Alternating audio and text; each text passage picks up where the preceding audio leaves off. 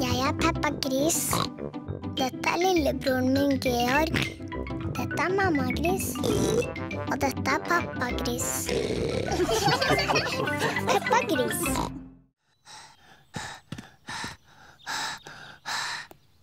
Draken vil ikke fly hvis det ikke er noen vind, samme hvor fort dere løper. Åh, Vi må bare vente til vinden tar seg opp litt. Åh. Se, det blåser opp. Og når det blåser, kan dragen fly.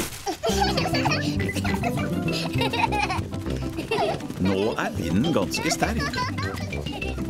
Og nå er vinden veldig sterk. Georg.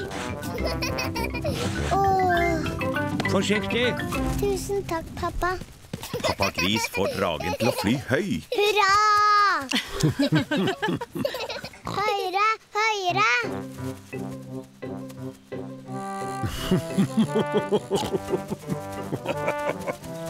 Pappa Gris er ordentlig flink. Wow! Ja, jeg er litt av en ekspert på dette. Pass deg for det treet. Dragen kan henge seg fast i det. Ta det med ro. Jeg vet hva jeg gjør. Dragen til pappa henger fast i treet. Å nei.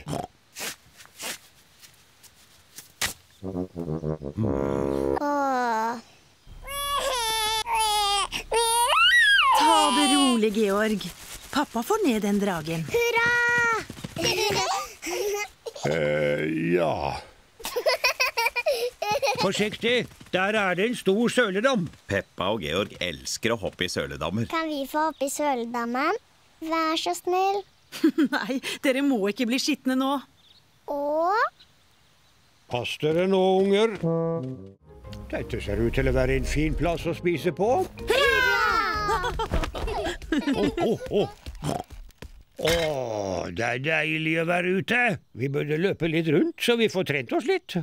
Jeg vil spise og så sove litt. Jeg vil i hvert fall ikke løpe rundt. kanskje pappa burde løpe litt. Magen hans er veldig stor. Magen min er ikke stor, men senere skal jeg løpe litt. Selv om ingen andre vil. La oss spise. God idé, mamma gris. Jeg er ordentlig sulten. Mm, deilig. Åh, jeg ble så søvnig Jeg trodde du skulle løpe litt rundt, pappa gris. etterpå.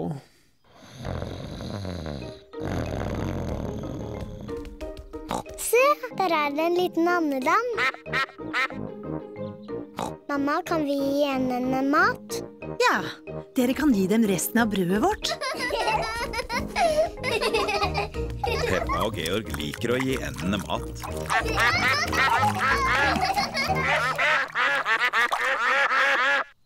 Mamma, jeg tror du vil ha litt mer.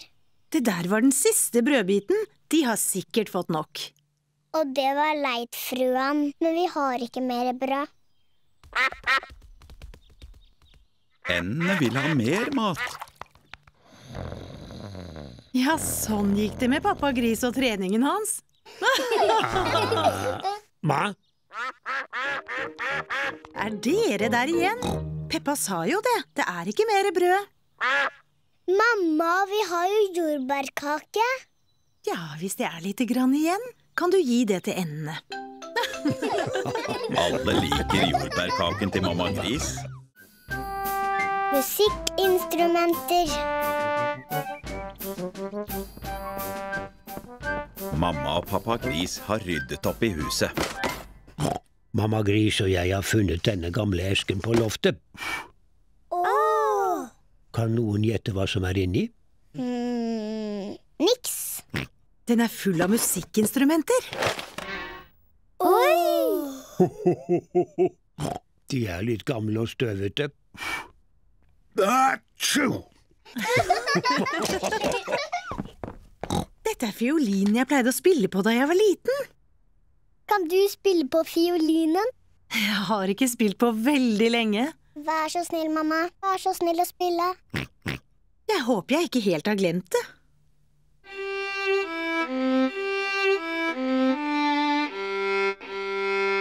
Bravo! mamma, kan jeg få spille fiolin? Du må holde den sånn. Ja, mamma.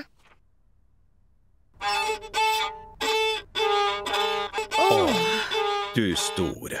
Jeg tror ikke det er sånn det skal høres ut. Georg vil også prøve. Du må holde den sånn, Georg. Det høres heller ikke riktig ut.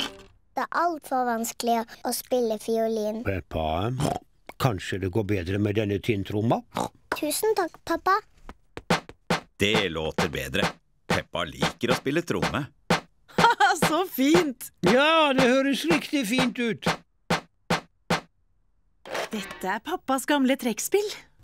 Jeg pleide å spille på det for mamma Gris da vi var unge.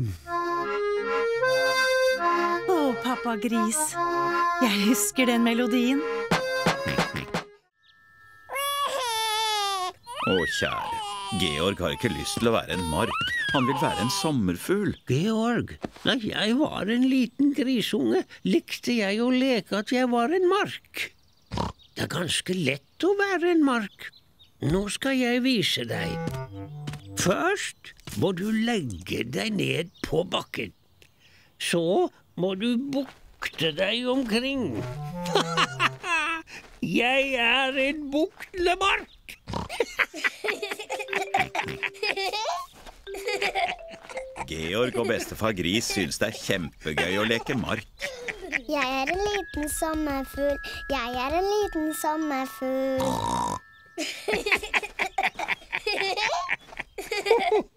Se, jeg er en sommerfugl. Ja, Peppa, du er en nydelig sommerfugl.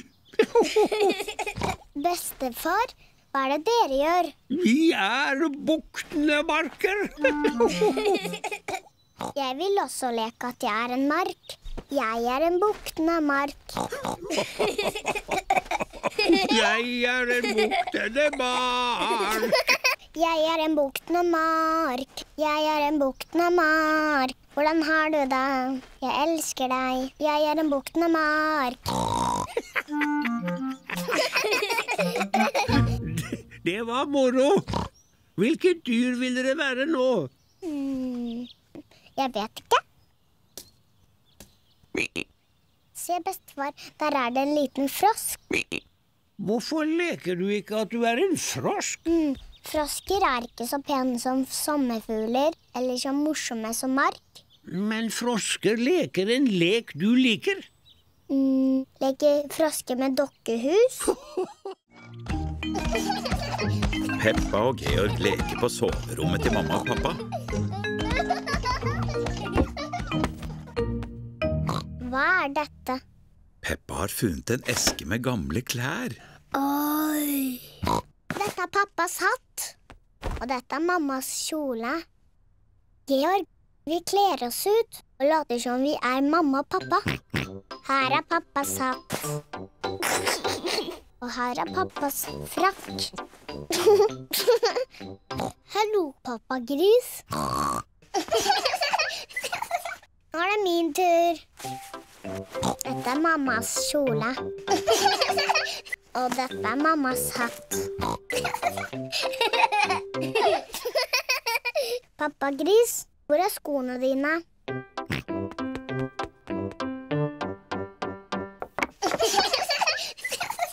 Jeg må også ha noen sko.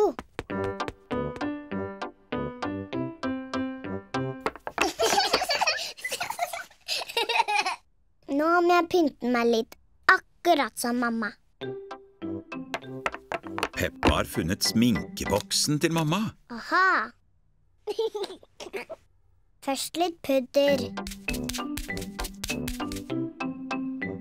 Nydelig. Og så litt leppestift. For en vakker mammagris. Kom igjen, pappa gris. Nå må vi gå på jobben. Mamma arbeider på PC-en sin. Hallo, Peppa. Hallo, Georg. Jeg beklager. Peppa, jeg sa bare hallo. Jeg er ikke Peppa Gris. Jeg er mamma Gris. Å ja, så klart. Hallo, mamma gris. Hallo. Nye røde sko.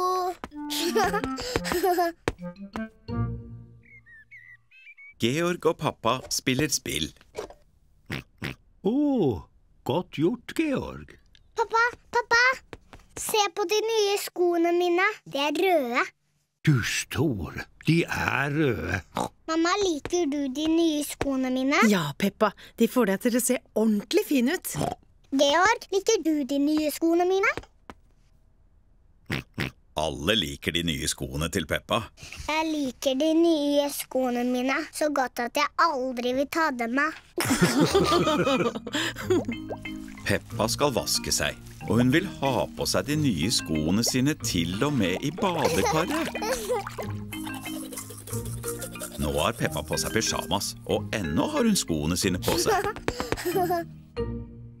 Peppa vil til og med ha på seg skoene sine i senga. Peppa, er du sikker på at du ikke vil ta av deg skoene dine? Jeg vil aldri ta av meg de nye skoene mine, mamma. Greit, det. God natt, Peppa og Georg. God natt da, mamma. God natt, pappa. God natt, små grisunger. Det har regnet hele natta, og nå er hagen veldig våt. Mamma Gris har støvlene sine på, pappa Gris har på seg sine, og Georg har på seg støvlene sine. Peppa har fremdeles på seg de nye røde skoene. Georg skal leke i det våte gresset. Å nei, Peppa elsker å leke i det våte gresset, men hun vil ikke at de nye skoene skal bli våte. Jeg kan ikke leke i det våte gresset, Georg. Jeg liker hoppeslottet best. Jeg liker alt sammen, jeg. Åhå, det var et godt valg, Peppa. Ser deg senere, Peppa. Ser dere senere. Georg, hva liker du best? Dinosaur. Å, kjære, det finnes nok ikke dinosaurer på markedet, Georg. Kanskje vi kan skaffe deg en dinosaurballong? Er du sikker på at de har dinosaurballonger, pappa Gris? Det er jeg sikker på. Kan Georg og jeg få ansiktet malt først? Så klart. Frøken Kanin har malt Peppas venner som tigre. Se der ja, Susi. Nå ser du ut som en tiger. Tusen takk, frøken kanin. Å, jeg liker fjeset ditt, Susi. Er du en pusekatt? Nei, jeg er en tiger. Peppa, vil du male ansiktet ditt? Ja takk. Kan jeg bli en elefant? Å, kjære, jeg kan ikke male elefanter. Jeg kan male tigre. Ja, en tiger, takk. Se der ja, Peppa. Nå er du en tiger. Jeg er en tiger.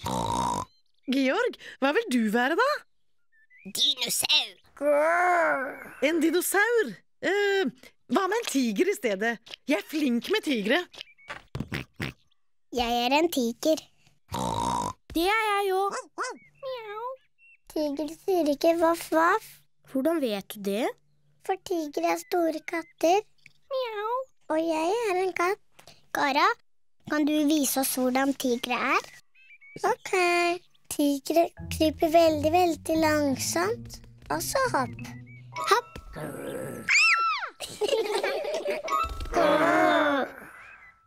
Tigre liker å slikke seg rene. Oi, skikkelig gammel. Vet du, jeg tror tre lys er mer enn nok. Bursdagskaken til mamma Gris er ferdig. Hurra! Nå må vi bare ordne med pyntesakene i stua. Hallo, mamma. Å, der er dere jo. Jeg begynte nesten å kjede meg. Mamma, har du lyst til å gå en liten tur i hagen? Har jeg noe valg? Niks. ha det, mamma. Ha en hyggelig tur. Vi roper når det er på tide å komme tilbake. Jeg hadde glemt hvor mye arbeid det er med bursdager. Pappa Gris, Peppa og Georg pynter i stua.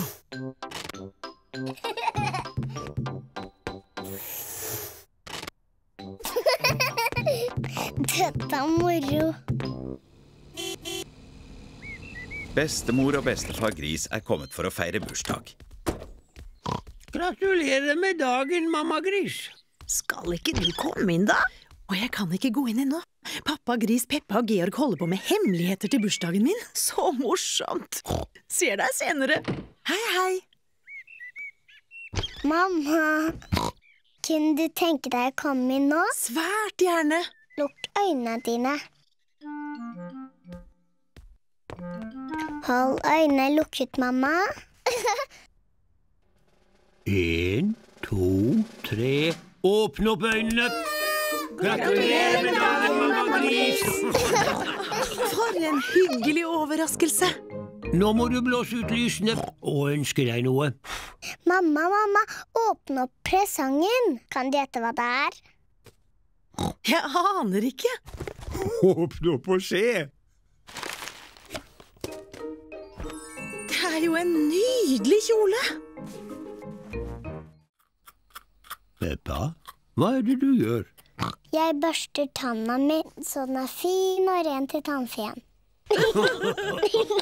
Peppa kan nesten ikke vente med å komme til sengs. Og så legger hun tanna si under puta, så tannfeen kan hente den. God natt, Peppa og Georg. God natt, mamma. God natt, pappa. God natt, mine små griser.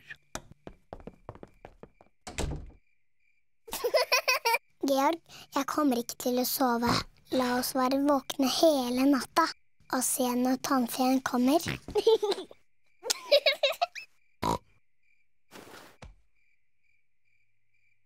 Denne tannfeen er veldig sen. Tannfeen tar seg sannelig god tid. Og blir av den tannfeen. Hva er det for en lyd? Er det tannfeen? Georg, kan du høre noe? Å, Georg. Å, det var bare Georg. Han var så trett at han sovnet. Georg er ikke noe flink til å holde seg våken. Men det er jeg. Jeg skal holde meg våken, så jeg får se tannfeen. Jeg skal ikke sovne.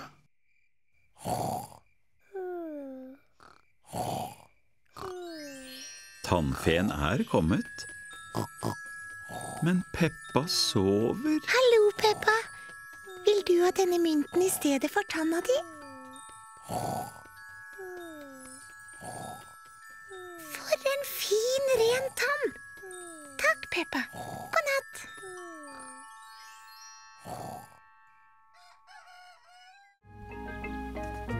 Peppa og familien hennes liker den nye blå bilen. Det er så mange knapper i denne nye bilen. Hva brukes den grønne knappen til, pappa? La oss se. Magiske vinduer! Få de magiske vinduene til å gå ned. Hva brukes den blå knappen til? Jeg vet ikke. La oss se.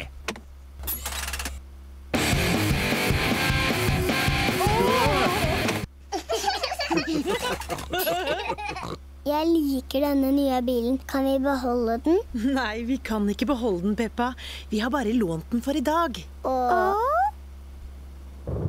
oh, nei, jeg tror det begynner å regne. Ja, jeg skal sette opp taket. Å, hvor er den knappen til taket da, Trond? Ops, dumme meg. Aha, dette er nok den knappen. Den nye bilen har sprutet vann på pappa. tull, pappa. Det er ikke taket. Denne knappen. Ops, nei. Denne da. Pappa har glemt hvilken knapp det er som tar opp taket. Jeg tror ikke denne bilen liker meg. La oss prøve den røde knappen.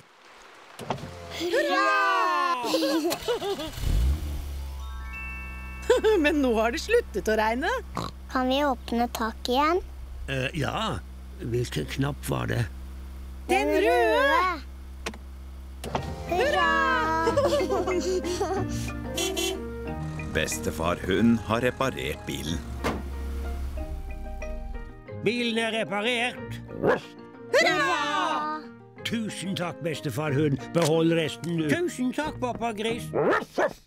Ha det. Ha det. Ha det! Ha det. Det er litt vanskelig. Pappa Gris, du holder kartet opp ned, jo. Ja, det var det jeg trodde. Det er lett. Det røde krysset viser hvor skatten er. Men hvor i hagen er de to epletrærne? Hm, jeg vet ikke. Skal jeg gi dere et hint? Ja takk. Det første sporet ligger i en flaske. Men hvor er flaska? Jeg ser den.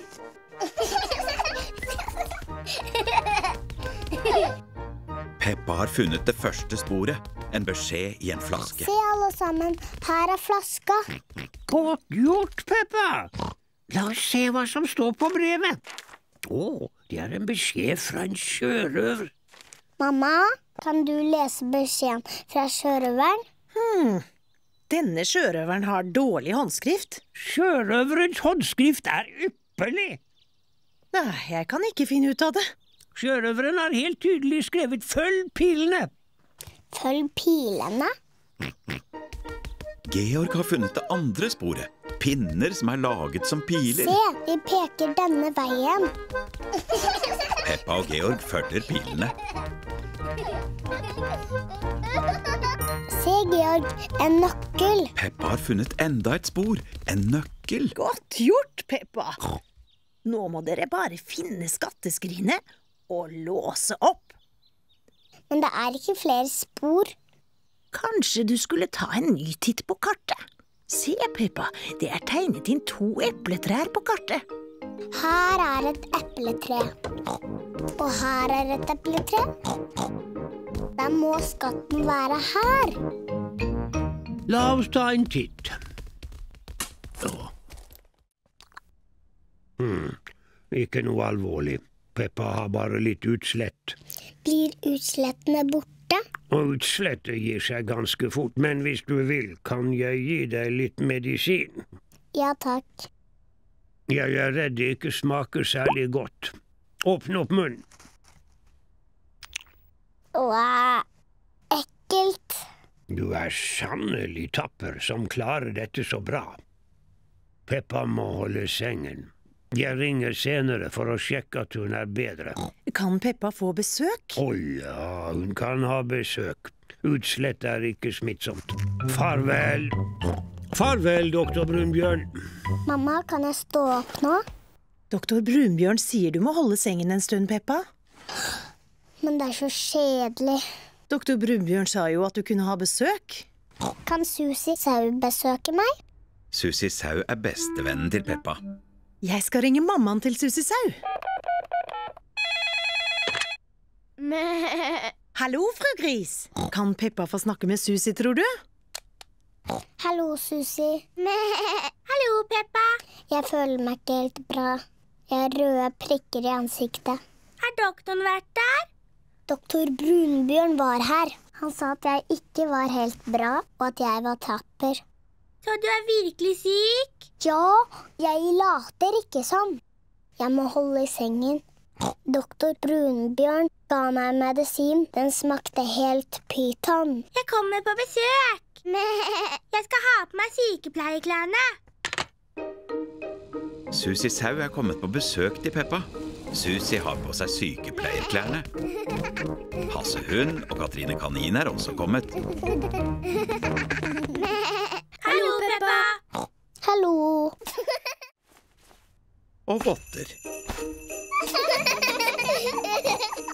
Kom igjen, Georg. Peppa og Georg lager fotspor i snøen. De syns det er morsomt å lage fotspor i snøen.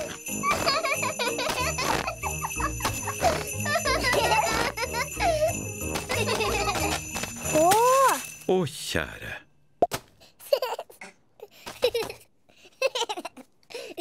Det var ikke morsomt.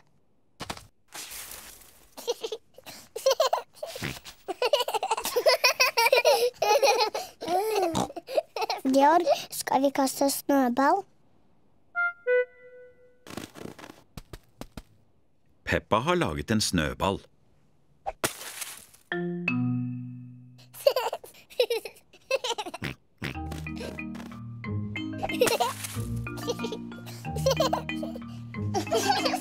Peppa og Georg har det veldig morsomt.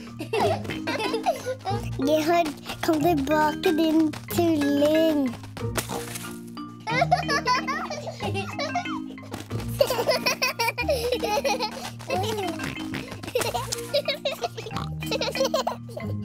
Uff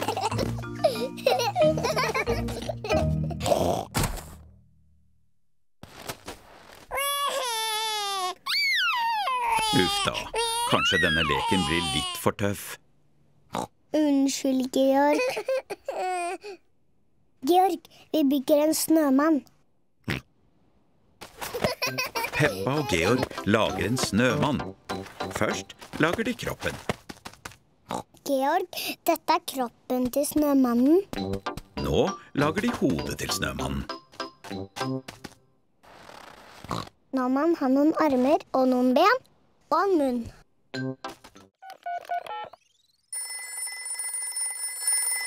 Hallo? Bestefar Gris, vær så god. Bestefar Gris, vi har kjørt oss bort litt på veien til det forblåste slottet. Ha-ha, er det pappa Gris som leser kartet? ja, pappa Gris leser kartet, og akkurat nå er han litt sur. Jeg er ikke sur. Dette er den beste veien. Hold hovedveien til dere ser det forblåste slottet over dere. Tusen takk, bestefar Gris. Vi følger hovedveien og ser etter det forblåste slottet. Som jeg tenkte. Er det et slott?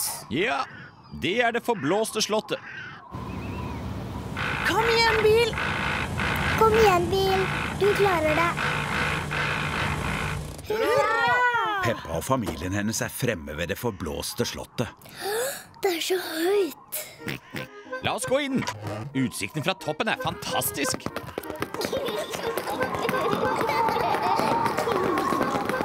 Åh, Se på den utsikten! mamma, er det bestemor og bestefars hus?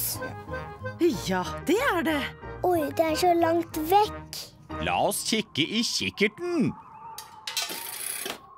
Får jeg se først, da? Ja, men Georg må se etter deg. Oi! Kikkerten gjør at alt ser større ut. Jeg kan se bestemor og bestefar. Se der, Georg. Bestemor Gis, bestefar Gis. Georg vinker til bestemor og bestefar. Tomme Georg. Bestemor og bestefar er altfor langt borte til å se at du vinker. Jeg vet det. Vi kan ringe dem. Hva er det? En person er den slue reven, og den andre kryper mot ham. Jeg, jeg vil være slu rev. Peppa er den slu reven. Når hun har ryggen til, lister de andre seg mot henne. Men hvis Peppa snur seg og ser noen bevege seg, må det gå tilbake til start. Georg, jeg så deg. Tilbake til start. Tok deg, jeg vant. Du rørte deg før jeg var klar, så. Reglene sier at jeg kan bevege meg når jeg vil, ikke sant, Georg? Nå er det Klaras tur til å være den slu reven. Peppa og Georg må stå veldig stille. Oi, Jeg så du beveget deg. Tilbake til start. det er urettferdig. Du så for lenge. Reglene sier at jeg kan se så lenge jeg vil. Tilbake til start. Georg har vunnet. Kan vi leke noe annet? Ja, hvis det er en lek for store. Jeg vet det! Vi leker ynglingsleken min. Den er for skikkelig store. Georg, vet du hva Peppas yndlingslek er? Peppas yndlingslek er å hoppe opp og ned i søledammer. Georg, hvis du skal hoppe i søledammer, så må du ha på deg støvler. Jeg har tatt med noen støvler til deg òg, Klara. Jeg er altfor stor til å hoppe i søledammer. Åh, Det er jeg òg. Georg elsker å hoppe i søledammer. Egentlig vil Peppa gjerne hoppe i dammen, men hun vil gjerne virke stor. Jeg hører det er litt damhopping på gang. Mamma og pappa Gris elsker å hoppe i søledammer. Det ser morsomt ut. Ja, det gjør det.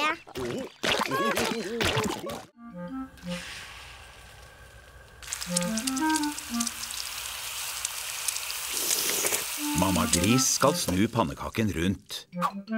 Hurra! Du kan jo kaste den høyere. Du kan få vise oss når du skal snu din egen pannekake, pappa Gris. Den første pannekaken er til Georg. Mamma Gris heller litt sirup på pannekaken til Georg. Herlig. Den neste pannekaken er til Peppa. Hurra! Du kan kaste den høyere. Du får sjansen til å vise meg når du skal snu din egen pannekake, pappa Gris. Sirup, takk.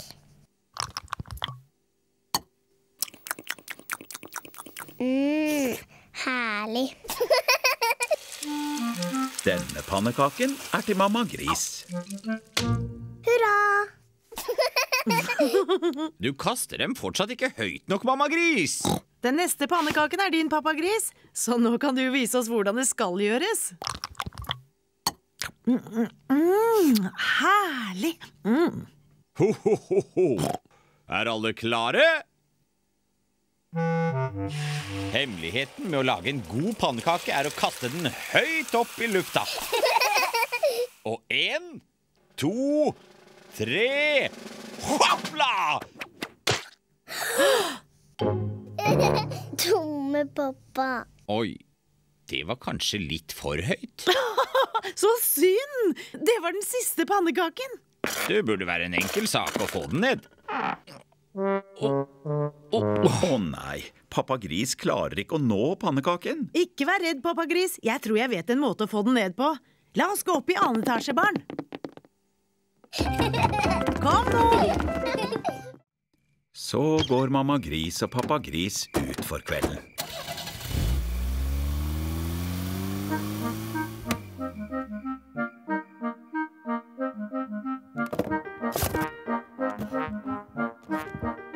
Og Georg er så snille. De sovnet med det samme mamma Gris ba dem om det. Denne barnevakten blir lett. Georg, Georg, er du våken?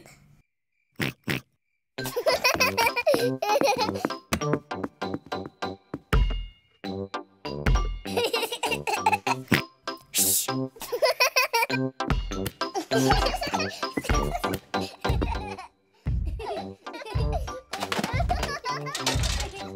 rare lyder. Lurer på om vi skal ta en titt ovenpå.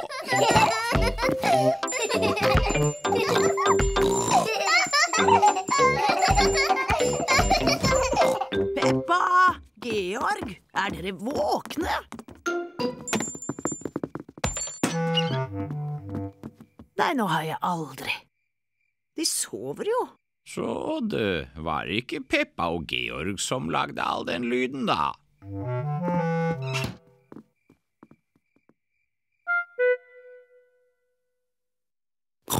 Jeg kan ikke høre noe. Jeg tror de virkelig har sovnet. La oss se litt på fjernsyn. Hagearbeidet. I dag skal vi snakke om roser. Å, jeg elsker hageprogram! Giftskate er en spesielt tornefylt rose.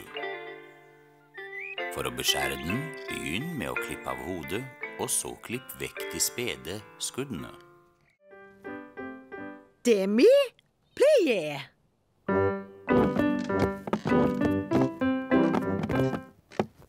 Så et lite hopp. Petit jeté.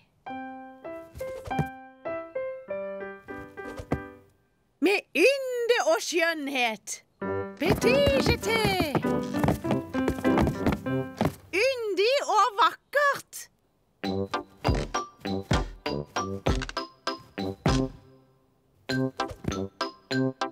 Petit jeté.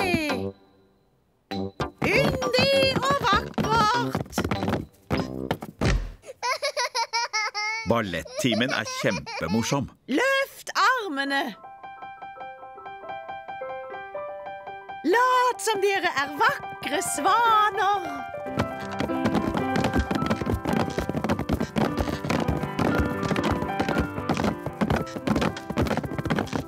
Og hva slags lyd tror dere en svane lager? Mjau. Nei. Yndig og vakkert. Peppa elsker å danse. Alle elsker å danse.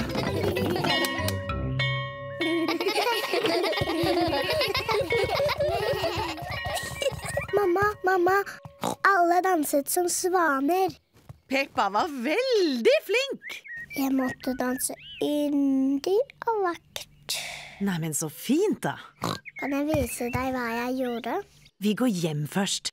Da kan du vise det til både pappagris, Georg og meg. Ha det.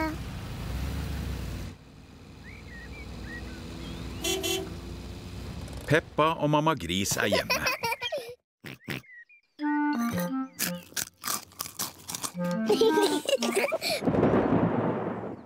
Hva er den merkelige lyden? Peppa! Georg! Fort! Nå må dere komme inn! Mamma, vi hørte en høy bråkelyd. Det er torden, Peppa. Det betyr at det blir tordenvær og masse regn. Fort inn i huset før det begynner å regne. Hoho, ingen grunn til panikk. Regnet er fremdeles langt unna. Himmelen blir mørkere og mørkere. Det blir tordenvær. Peppa, Georg, tok dere med alle lekene inn fra hagen? Dinosaur. Bra, herr dinosaur er trygg. Teddy! Jeg glemte Teddy i hagen. Han blir våt. Ikke vær redd, Peppa. Pappa Gris skal redde Teddy. Best du skynder deg, pappa Gris. Det begynner å regne straks. Jeg vet alt om tordenvær. Det begynner ikke å regne på lenge. Ho, ho, ho. Som jeg trodde. Massevis av tid før det begynner å regne.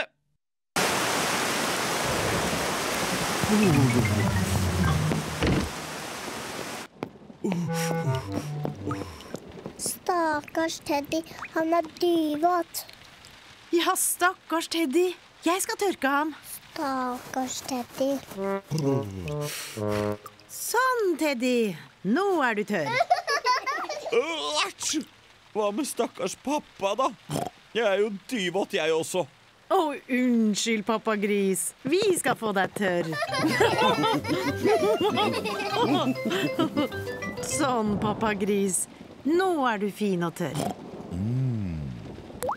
Å, Regnet kommer inn i huset.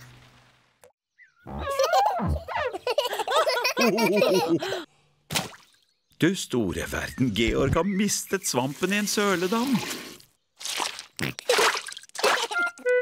Georg, du skitner jo til bilen igjen. Jeg skal vaske søla. Peppa, ikke bruk sø... Løvannet. Oi sann, Peppa har kastet sølevannet over hele bilen. Det gjør ikke noe. Vi spyler det av med hageslangen. Ja, ja, for jeg holder slangen.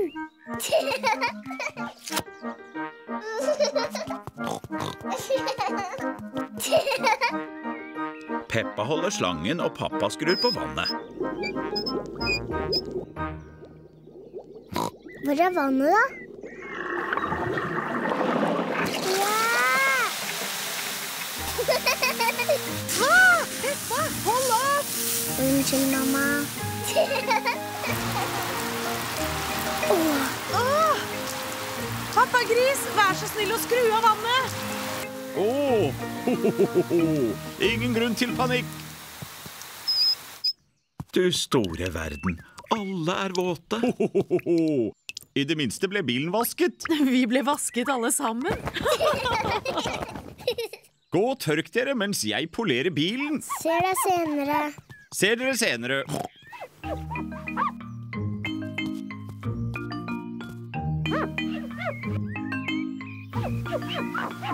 Pappa Gris polerer bilen så fint at han kan se ansiktet sitt i den. For et tullefjes. Enda flere morsomme fjes. Det er Peppa og Georg sine. Hva er dette? Dinosaur. En dinosaur! Ho, ho, ho. Nå skal vi finne grønnsaker til formiddagsmaten. Peppa, liker du tomater? Ja, bestefar Gris. Georg, liker du tomater? Nei. Georg liker ikke tomater. Å du verden. Liker dere salat, begge to? Ja, bestefar Gris. Nei. Georg liker ikke salat. Du verden. Jeg har nok noe Georg liker også. Liker du agurk? Georg liker ikke agurker, og heller ikke salat eller tomater. Vel, Georg. Hvilke grønnsaker liker du? Sjokoladekake. Å, dumme Georg. Sjokoladekake er ikke en grønnsak. Kanskje Georg kommer til å like grønnsaker når det blir gjort om til en deilig salat. Å, deilige friske tomater, salat og agurk. Men først må vi vaske dem. Peppa og Georg hjelper bestemor Gris med å vaske grønnsakene.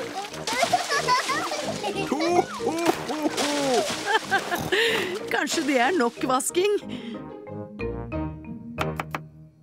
Bestemor Gris har laget en salat av tomatene, salaten og agurken.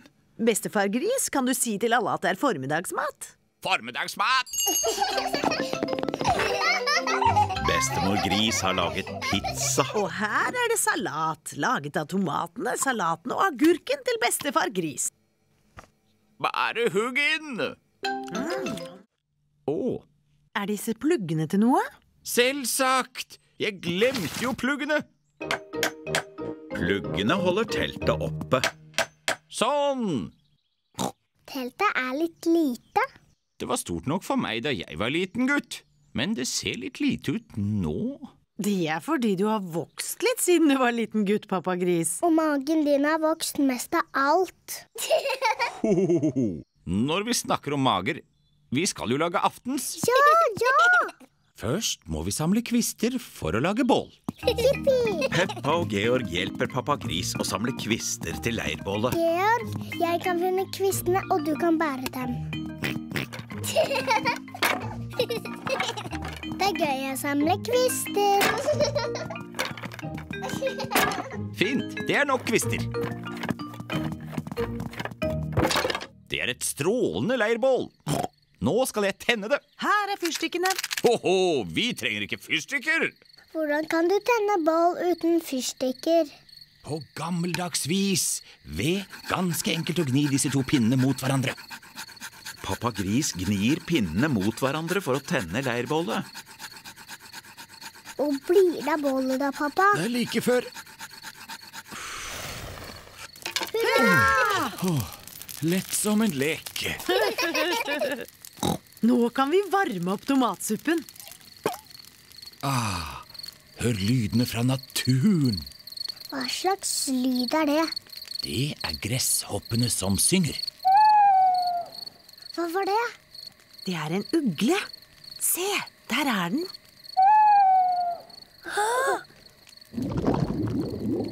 Hva er det for en lyd? Jeg er ikke helt sikker. Er pappas mage. Hurra! Peppa og Georg liker trehytta veldig godt. Tusen takk, bestefar Gris. Tusen takk, bestemor Gris. Hvem har lyst til å gå inn først? Jeg, jeg. Inn med deg, da. Før jeg går inn i trehytta mi, må jeg ta av meg de skitne støvlene mine. Jeg er i trehytta mi. Jeg er i trehytta mi. Georg, har du lyst til å gå inn i trehytta òg? Ja, hvem er det? En liten gris som heter Georg vil gjerne besøke deg. Kan han komme inn? Hvis han tar av seg de skitne støvlene sine, så. Georg, ta av deg støvlene dine, og så kan du besøke Peppa i trehytta. Hvem er det? Georg?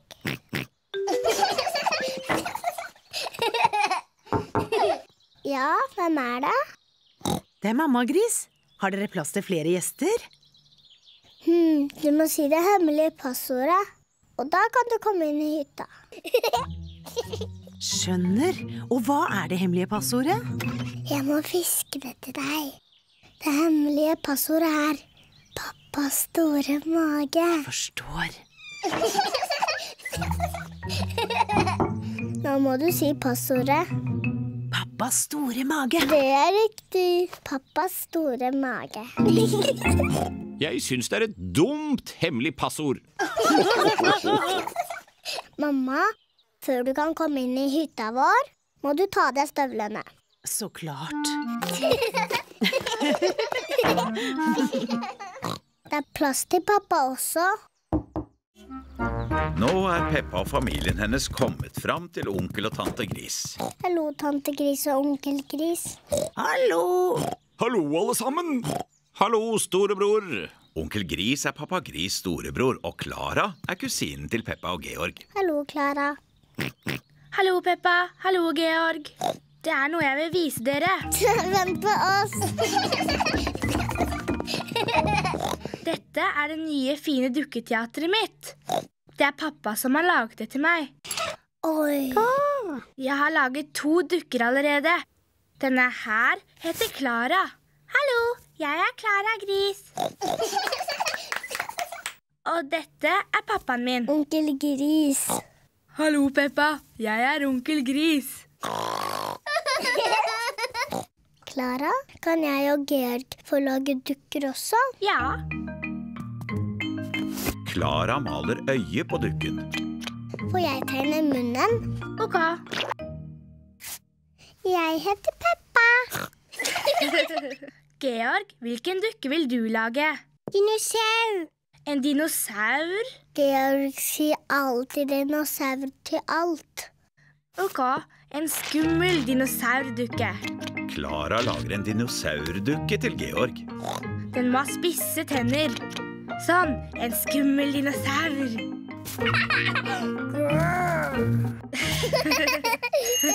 Formiddagsmat! Kommer. Og etter maten skal vi spille dukketeater. Hurra! Tante Gris har laget spagetti til alle sammen.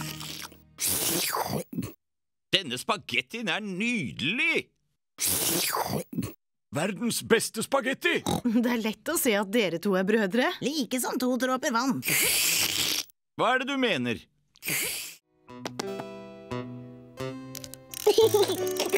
Georg liker edderkoppen.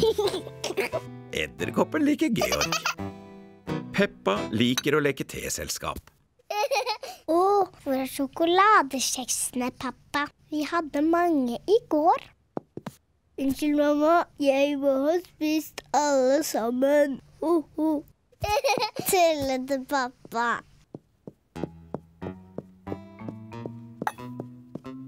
Georg legger edderkoppen til sengs. Nette. Georg, hva er det du gjør? Du må hjelpe meg med teselskapet.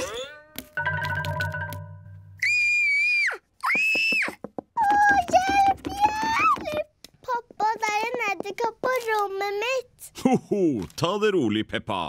Og vær så snill, pappa, ta den vekk. Ho-ho, ikke få panikk. Hallo, Georg. Har du sett edderkoppen? Å, den er så skummel. Ta den vekk.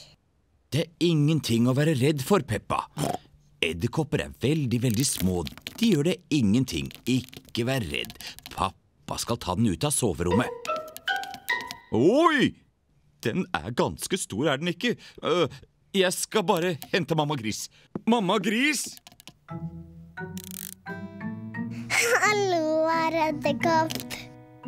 Peppa føler seg litt modigere. Den liker å være i dukkehuset. Hallo, unger. Jeg hørte at dere har funnet en liten edderkopp. Jeg skal ta den ut herfra, så kan dere fortsette å leke. Mamma, den heter her Edderkopp. Herr Edderkopp er stor, er han ikke? Peppa og Georg liker edderkoppen. Jeg fant tomatene. Godt gjort, Peppa. Tomater. Én ting mindre på listen. Hva er det neste på listen? Spagetti. Spagetti. Det er riktig, Georg, men man sier spagetti. Spagetti. Spagetti er det Peppa og Georg liker best. Jeg lurer på hvor spagettien er. Jeg ser den denne veien. Spagetti. Se, mamma. Her er spagettien. Det var fint, Peppa. Legg den bare oppi vogna, du. Ja, mamma. Spagetti. Georg, det heter spagetti. Spagetti. Hva er det neste på lista, Peppa? Potetgull. Potetgull står ikke på lista. Vi har nok av potetgull hjemme, Peppa. Gjett en gang til. Hmm. Jeg kan ikke huske det. Kan du huske det, Georg? Dinosaur. Dinosaur? Georg, det fins ikke dinosaur i matbutikken. Nei, Georg. Det neste som står på lista, er løk. Løk? Så nå husker jeg det. Her er de. Det var fint. En, to, tre, fire. Løk. Veldig bra. Det er nesten alt på lista vår. Det er enda én ting på lista. En plante? Står det på lista? Å nei, Georg. Det siste som står på lista, er frukt. Det gjør ikke noe, Georg. Du kan velge frukt. Hvor er frukten, da? Der borte. Der er det epler og appelsiner og bananer og en veldig stor melon.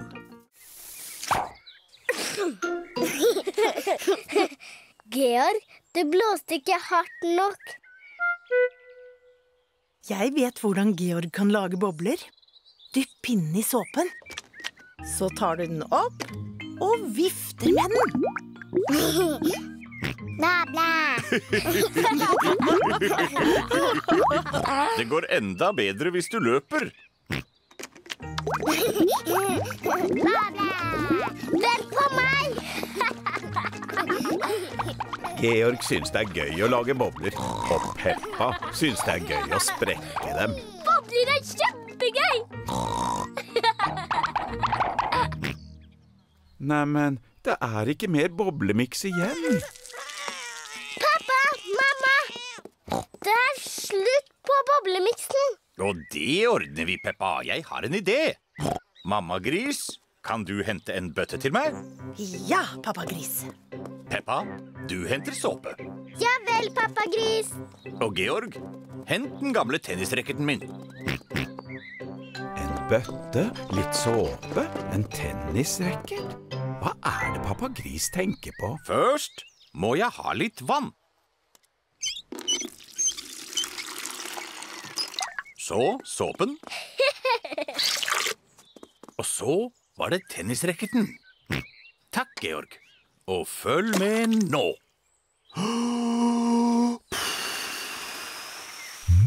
Wow! Pappa Gris har lagd sin egen boblemiks. Kom igjen, alle sammen!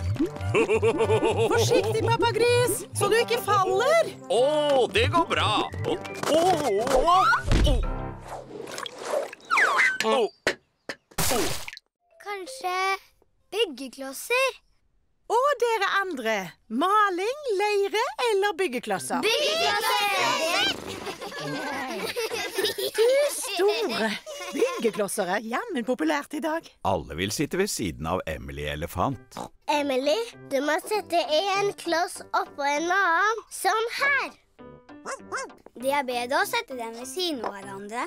Nei, på denne måten, Emily. Sånn her skal det gjøres, Emily. Nei. Nei, Emily. Se her. Dere er veldig hjelpsomme alle sammen, men Emily, hvordan vil du leke med klossene? Um, jeg er ikke helt sikker. Kanskje jeg skal gjøre sånn? Wow! Emily Elefant er flink med byggeklosser. Nå er det frikvarter. Emily, vil du leke ute sammen med de andre? Å ja! Kan noen vise Emily hvor vi leker?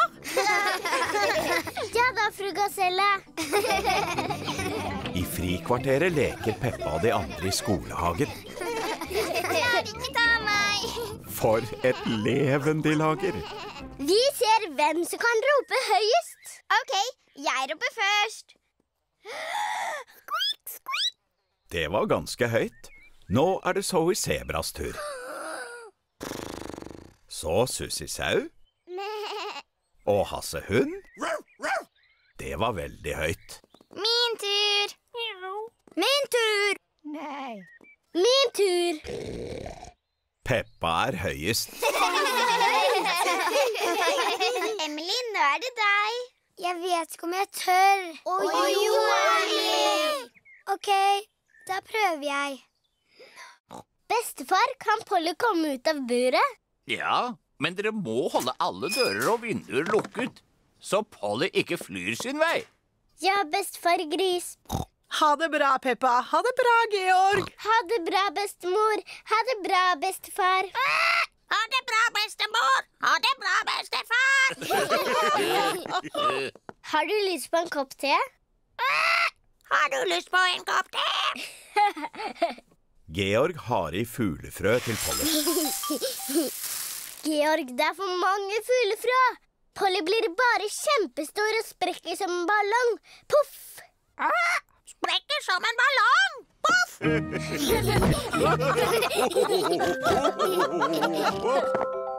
Hva er den lyden?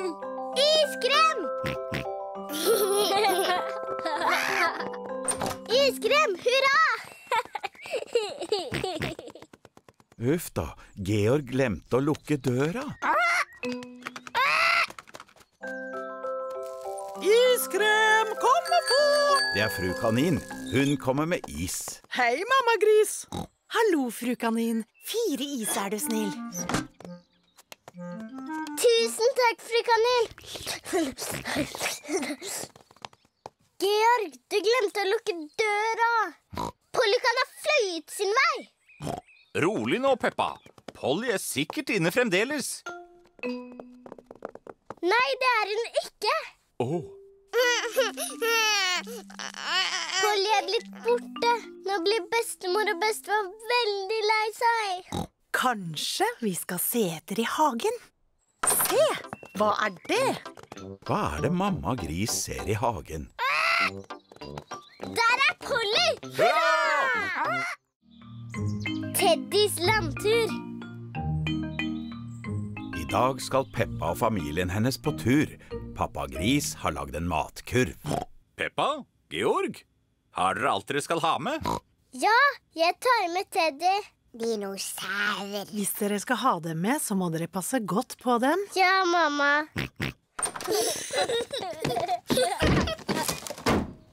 Er alle klare? Ja, pappa Gris. Da kjører vi! Dinosaur! Georg har glemt igjen herr dinosaur. Å, Georg, du må ta bedre vare på herr dinosaur. Dinosaur! Er alle sammen helt sikre på at det ikke er noe mer vi har glemt igjen? Ja, pappa Gris. Teddy! Jeg har glemt Teddy. Hvor la du igjen Teddy, da? Jeg tror det var på kjøkkenbordet. Peppa, du må lære deg å ta vare på Teddy. Teddy! Da prøver vi igjen. Alle klare? Ja, pappa Gris! Da kjører vi! Her er spiseplassen. Nå er vi fremme. Ah, det er herlig med sånne skogsturer. Det er så stille og fredelig. Der er Zoe Sebra og pappaen hennes, herr Sebra Postmann. Hallo, herr Sebra. Har du noe post til oss? Ingen levering i dag, nei. Jeg har fri i dag. Nei! Vi skal ha piknik i dag. Vi også. Dere, hvorfor lager vi ikke en stor piknik? Ja! For en herlig piknik. Kan Georg og jeg få gå fra bordet og leke med Zoe? Ja, Peppa. Wow. Forstørrelsesglasset får øyet til Georg til å se digert ut. Det dere detektiver trenger nå, er et mysterium å løse.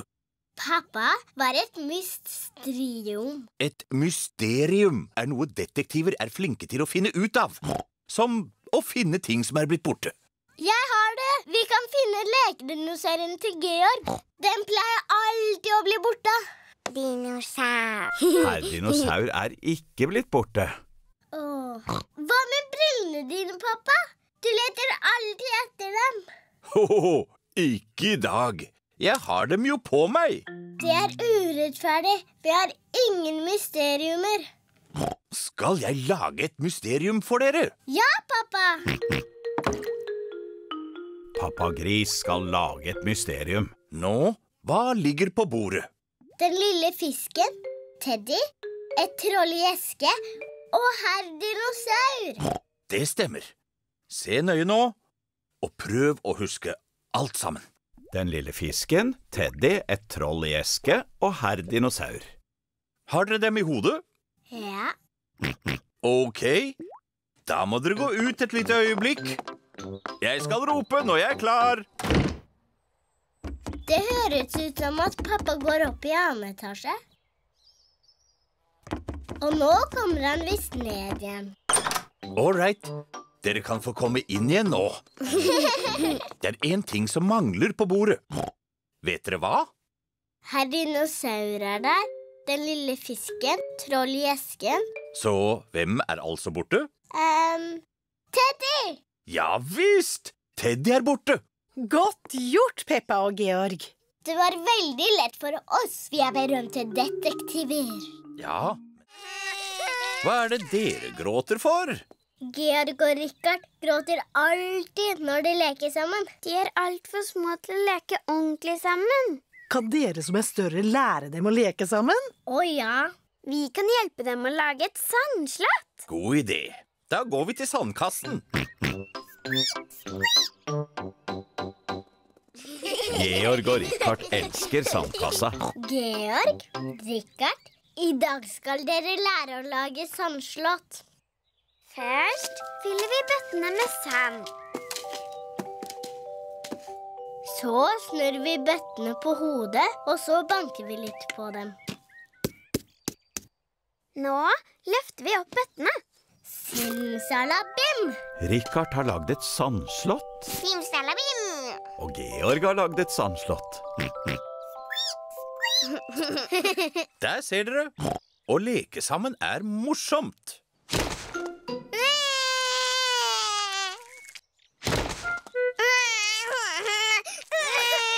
Uff da.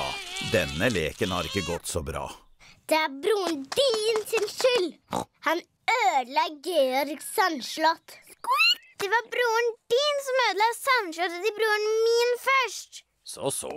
Dere store jenter skulle jo lære Richard og Georg å leke fredelig sammen. Det er sant. Vi er store jenter. Og Georg og Richard er for små til å leke ordentlig sammen.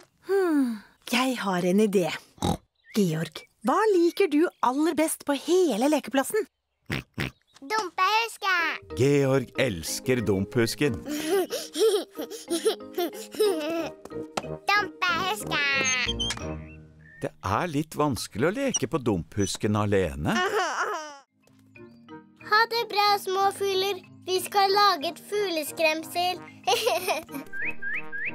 Her er redskapsbua til bestefar Gris. Her er det nok av ting å lage fugleskremsel av. Først må vi ha to stokker og litt hyssing. Vi skal finne det Peppa har funnet to stokker, Georg har funnet hyssing. Flott! Jeg binder stokkene sammen for å lage kroppen. Bestemor Gris har funnet litt strå og en gammel sekk. Det er flott. Jeg putter strå i sekken og lager hodet. Så må vi ha noe fugleskremselet kan ha på seg. Jeg har en veske med gamle klær. Georg har funnet en kjole. Tydelig til Georg. Herr Fugleskremsel vil vel ikke ha på seg kjole? Peppa har funnet en frakk. Det var fint, Peppa. Georg har funnet en hatt. Det var fint, Georg. Herr Fugleskremsel trenger et ansikt. Ja, det er sant. Kanskje du og Georg kan male ansiktet? Ja, gjerne. Georg maler øynene og nesen. Peppa maler munnen. Fantastisk! Herr Fugleskremsel er klar. Småfuglene er ute etter bestefar Gris fuglefrø. Se, småfuglene er tilbake. Ta det med ro, Peppa. Herr Fugleskremsel vil skremme dem bort.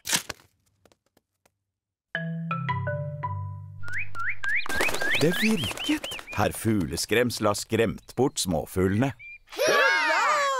Flott! Nå blir ikke blomsterfrøene mine spist. Som det blåser! Vi sparker ball og holder oss varme! Ja!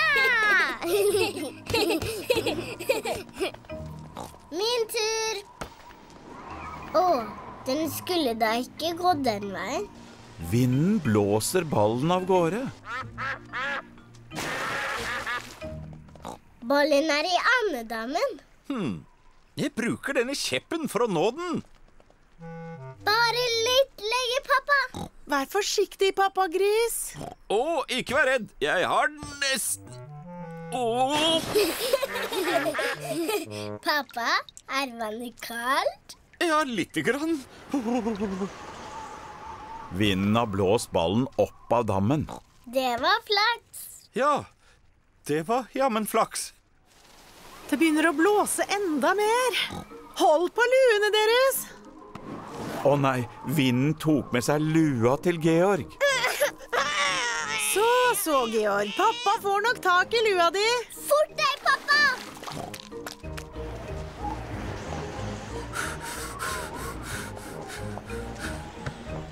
Se, den er i det lille treet. Jeg får klatre opp og hente den. Treet er altfor tynt til å tåle vekten din, pappagris. Så hvordan skal vi få lua ned? Enkelt. Jeg bare rister litt på treet. Hm, kanskje jeg må riste litt hardere. Oi! Jeg trodde sånt bare skjedde med meg, jeg. Det er ikke morsomt. Det er litt morsomt, mamma. Ja, det er kanskje litt morsomt. Hvor er lua til Georg? Den er på hodet ditt. Her er lua di, Georg. Nå er dagen snart over, og alle foreldrene har kommet. Mamma og pappa, vi har lagd en tidskapsel. Å, pappa Gris. Akkurat tidsnok til å hjelpe oss å grave hull. Eh, Ja, ja visst. Pappa Gris graver et hull i skolehagen til tidskapselen. Sånn. Kan vi grave den opp nå? Å nei, den skal ligge i jorda i mange år. Å, jeg orker ikke vente så lenge. Peppa, du er akkurat som pappaen din da han var liten. Er jeg? Ja, jeg husker da jeg var hans lærer. Har du vært pappas lærer? Ja, og alle de andre foreldrenes. Ikke sant? Jo, Da foreldrene deres var små, lagde de også en tidskapsel. Ja, vi gjorde det, og gravde den ned ved et lite tre. Kan vi grave den opp? Ja, jeg tror vi gravde den ned her borte. Å, jeg trodde det var et mye mindre tre. Det er veldig lenge siden. Treet har vokst en del siden det.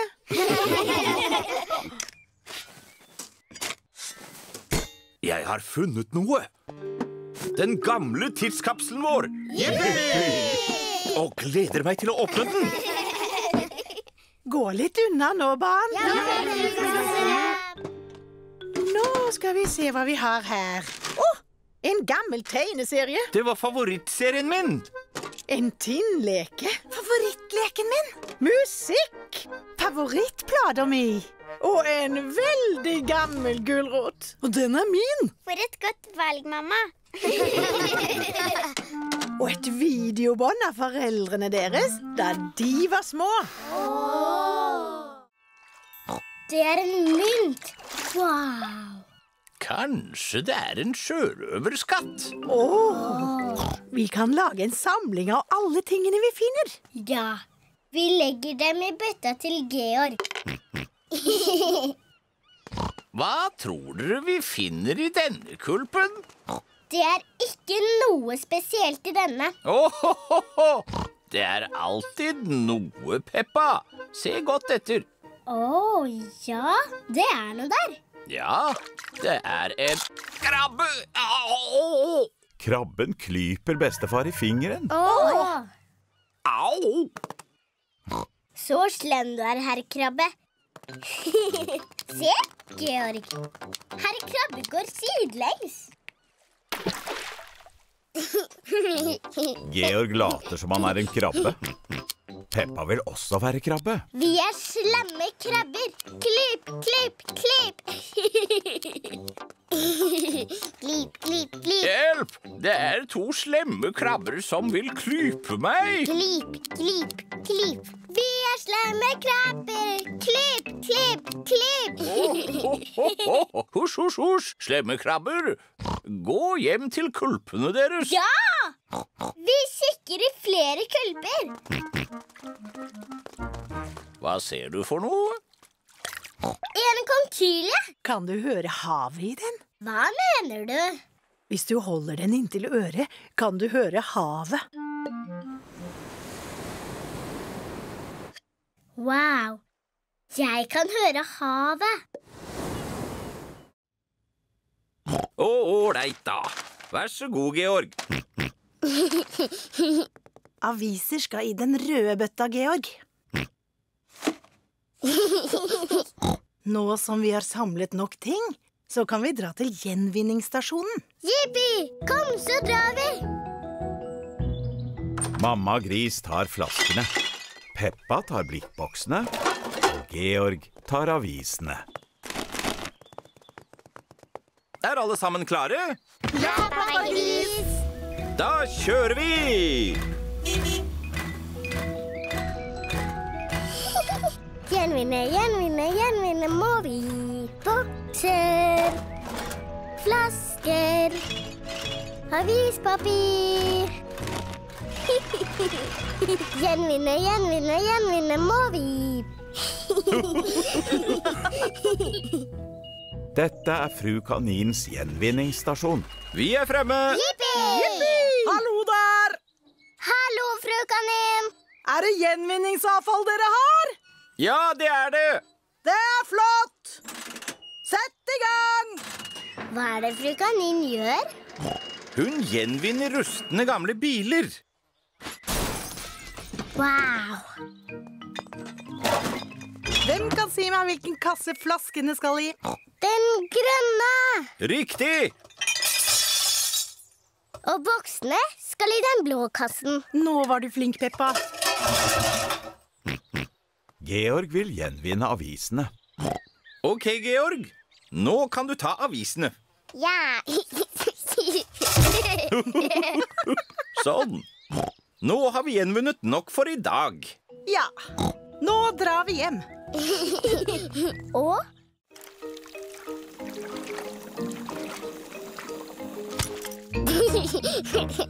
Georg liker trekkoppbåten sin. Mamma, kan du trekke opp båten min?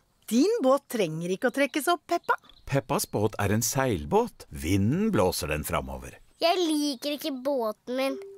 Den gjør jo ingenting. Det er fordi det ikke blåser i dag. Kanskje den bare trenger litt hjelp.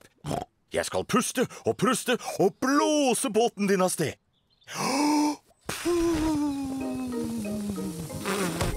Hurra! Den gikk veldig fort. Peppa liker seilbåten sin. Her er Peppas venn, Susi Sau. Hei, alle sammen. Hei, Susi. Vi leker med båtene våre. Jeg har med speedbåten min. Må den trekkes opp? Nei, den har batterier. Susis speedbåt må ha batterier for å gå. For en fin speedbåt! Unnskyld, fruen. Her er Hasse hund med bestefar hund. Hei, alle sammen. Hei, Hasse! Se på den nye julebåten bestefar har lagd til meg. Du verden, det var fine greier. Hva driver den? Den er dampdrevet. Jeg bare slår på denne spaken. For en fantastisk julebåt! Her er Katrine Kanin med moren sin. Hallo, alle sammen. Hei, Katrine. Vi leker med båtene våre.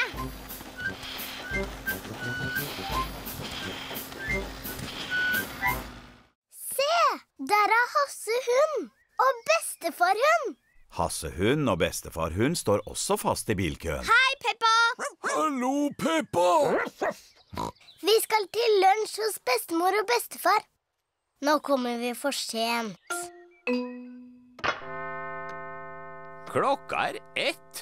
De er sent ute. Som vanlig. Hvordan går det med potetene? Um, de må nok stå i ovnen litt til. Det er bestemor Gris. Hallo, bestemor Gris. Vi står fast i bilkø. Ingen fare. Vi er også forsinket. Bestefar Gris har brukt altfor mange poteter. Jeg ser dere snart, da. Stakkars, de står fast i en bilkø. Høres ut som jeg har tid til å hente noen poteter til. Bestefar, da. Det går så sakte framover. Vi kommer aldri fram til bestemor og bestefar. Peppa har rett. Vi bør prøve en annen vei. Men det er ingen andre hovedveier. Jeg vet om en snarvei. Det bra, alle sammen. Vi skal ta en snarvei. Ha det, Peppa. Lykke til. Mamma Gris tar en snarvei for å komme forbi køen. Snarveien er full av humper. Dette er kjempegøy.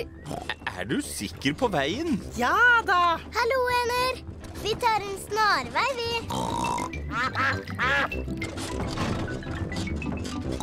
Se, der har vi hovedveien igjen. Godt gjort, mamma Gris. Men vi er fortsatt bak bilen til Hasse. Hallo. Velkommen tilbake. Øff da, snarveien til mamma Gris hjalp ikke det spor. Flott. Lunsjen er klar. Og det viktigste av alt, potetene er ferdige. Lunsjen er klar, men Peppa og familien hennes har ikke kommet ennå. Kan vi ikke få leke ute bare litt til? Ho-ho-ho! Nei, dere skal bade nå. Ja, bading! Er ikke du og Georg søvnige? Nei, pappa. Vi er ikke søvnige i det hele tatt, Viggo. Om ikke Peppa og Georg er søvnige, så er jeg det. Jeg også. Før sengetid tar Peppa og Georg et bad. Peppa liker å plaske. Georg liker å plaske. Peppa og Georg liker begge å plaske. Nå er det nok plasking. Nå må dere opp og få på dere pysjene. Å, kan vi ikke få bli i badekaret bare litt grann til? Ho-ho! Nei, nå er badet over. Nå må dere pusse tennene. Før de legger seg, pusser Peppa og Georg tennene.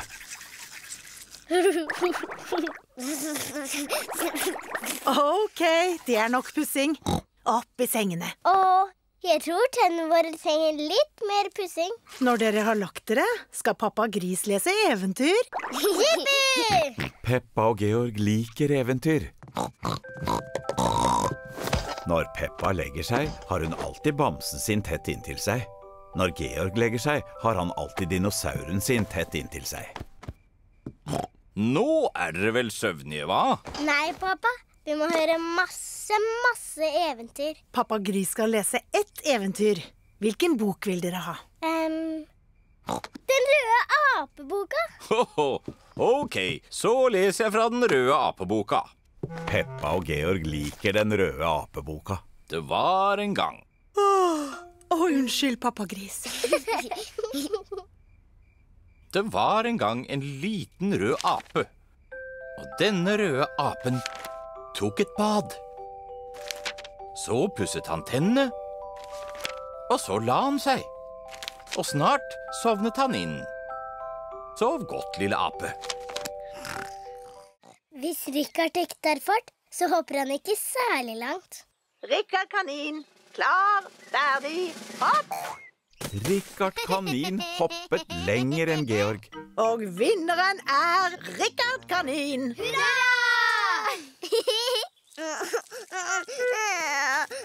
Georg, du må huske det viktigste det er ikke å vinne, men å delta. Neste øvelse er stafett. Hvert barn må velge én forelder å løpe med. Peppa, velg meg! Velg meg! Men pappa, du er jo ikke flink til å løpe. Jeg var veldig flink da jeg var en liten gris. Men nå har du stor mage. Men jeg når fortsatt ned til tærne. Oh, nesten. Ok, pappa. Men da må du løpe veldig fort. Mødrene og fedrene skal løpe første del av løpet, og så gi pinnene til barna. Mammaer og pappaer, klar, ferdig, gå! Pappa Gris leder løpet. Kom igjen, pappa! Takk, pappa. Du var veldig flink. Nå er det min tur til å Peppa, slutt å snakke om løp!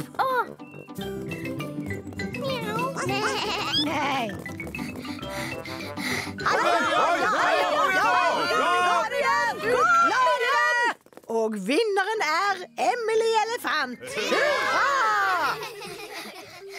Å, pappa. Jeg har ikke vunnet noe ennå.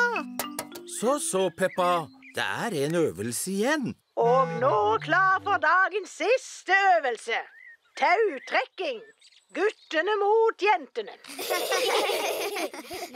Når jeg sier trekk, må dere dra i tauet av alle krefter. Mamma, jeg må ha briller. Hva? Pedro ga meg en synsprøve, og jeg trenger briller. Jeg tror synet ditt er helt fint. Nei, mamma. Når jeg lukker øynene, så ser jeg ingenting. Men det er ingen som kan se noe med lukkede øyne. Åh. Hva er dette med å trenge briller? Pedro kan alt om briller, han. Faren hans er opp optiker. Ja vel, Peppa. Da tar vi deg med til optikeren til en synsprøve. Kan vi gå med én gang? Georg, vil du også ha synsprøve? Nei.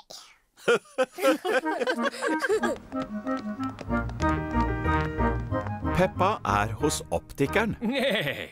Optikeren er herr Ponni. Hallo, Peppa. Vær så god og sitt. Nå, hva kan jeg hjelpe deg med? Kan jeg få en synsprøve?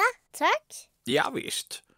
Ta på disse spesialbrillene, og så ser du på plansjen. Herr Ponni skal teste synet til Peppa. Kan du lese disse bokstavene for meg? Ok. um, A, B, C, D, E, F. Flott. Og så disse tallene, er du snill. Um, en, to, tre, fire, fem, seks. Veldig bra. Og nå disse fargene. Rød, grønn, oransje, blå, gul, lilla. Glimrende. Og mens jeg sjekker resultatet, kan jo du velge briller. Åh, Ja! Hva med disse brillene, Peppa? De var rare.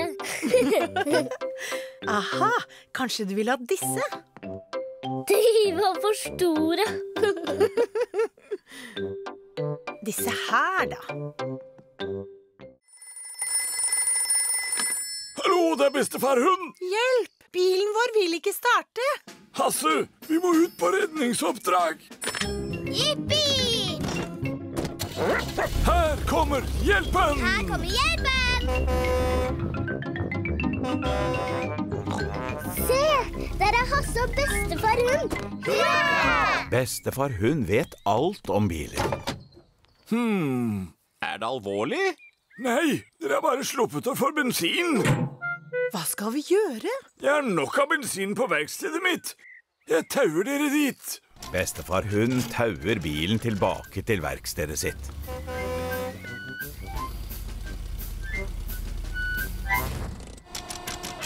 Bestefar Hund fyller bensin på bilen.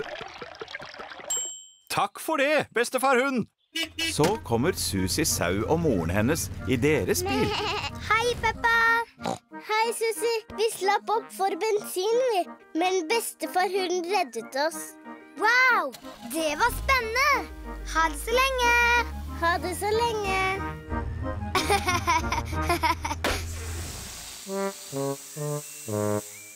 Å nei, all luften har gått ut av dekket. Må bestefar hun komme og redde oss? Han må nok det. Hallo, det er bestefar hund. Jeg skjønner. Ikke få panikk, mamma sau. Jeg kommer.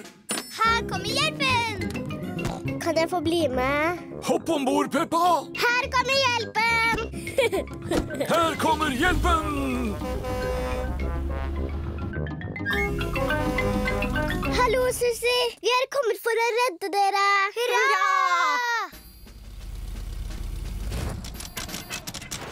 Bestefar hun fyller dekket med luft. Pappa Gris, er du sikker på veien? Ja da, det er jeg vel. Jeg tror aldri vi finner huset vårt igjen. Jo, det gjør vi nok, Peppa. Vi er bare ute i hagen. Å, det er endene. Hallo, frua. Finner du ikke igjen dammen din? Vi har også gått oss vill. Vi har ikke gått oss vill. Jeg vet nøyaktig hvor vi er. Ser dere sidenender? Lykke til med å finne dammen.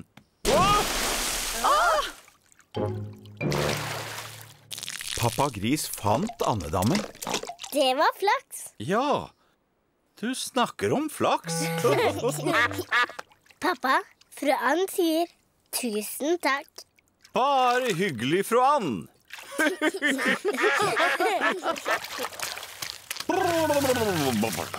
Nå får vi finne huset vårt. Det må være denne veien. Hallo? Hørte dere det der? Ja, jeg syns jeg hørte noen si hallo. Det er mamma kanin med Katrine og Richard. Hallo, Peppa. Vi har gått oss vill. Hei, Katrine. Vi har også gått oss vill. Vi hadde tenkt oss til lekeplassen. Vi også. Men det er for mye tåke til å gå dit. Kom, alle sammen. Vi går hjem til oss til tåken letter. Pappa Gris, er du sikker på retningen? Ja visst er jeg det. Denne veien. Ja vel, pappa Gris. Aha! Her er bakketoppen vår.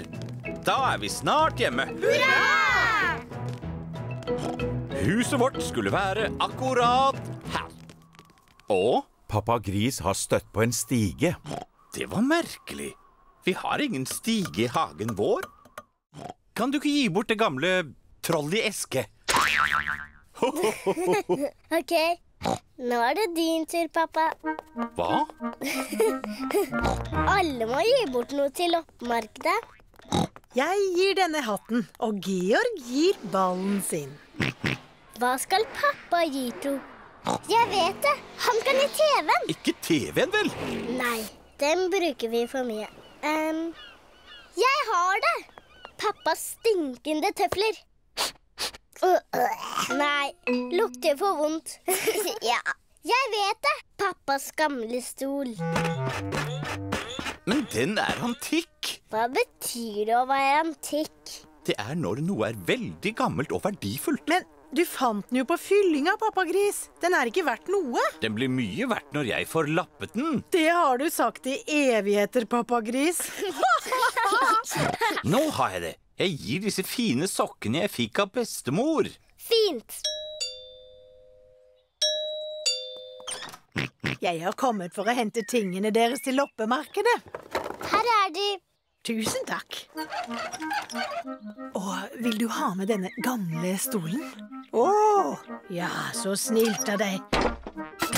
Ha det bra! Ha det! Mamma, du ga jo bort pappas stol. Hysj, ikke si noe. Han merker det ikke. Så er dagen kommet for loppemarkedet. Hallo! Hallo, fru kanin. Peppa, hva med denne stolen? Den er litt utslitt, men den kan jo hogges opp og brukes til peisved. Men den er antikk. Jaså? Pappa sier at den er verdt masse penger. I all verden. Da får jeg sett opp prisen. Ha det. Her kommer Katrine Kanin med lillebroren sin, Rikard Kanin. Hei, Katrine. Hei, alle sammen. Rikard, hold på dette brettet, så kan du øve på å sparke med beina. Georg, vil du prøve å sparke med beina?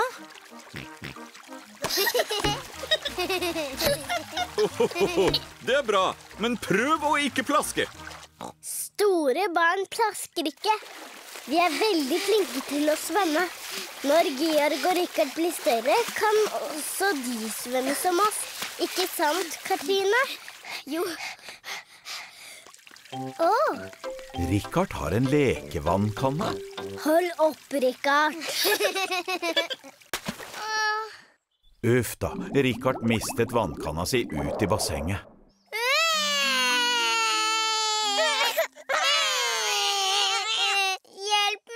Beklager, Rikard. Jeg rekker den ikke. Den er for langt ned.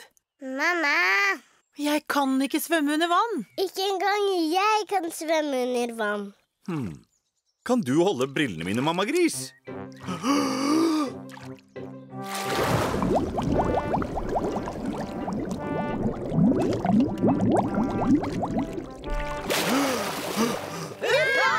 Ho-ho, Vær så god.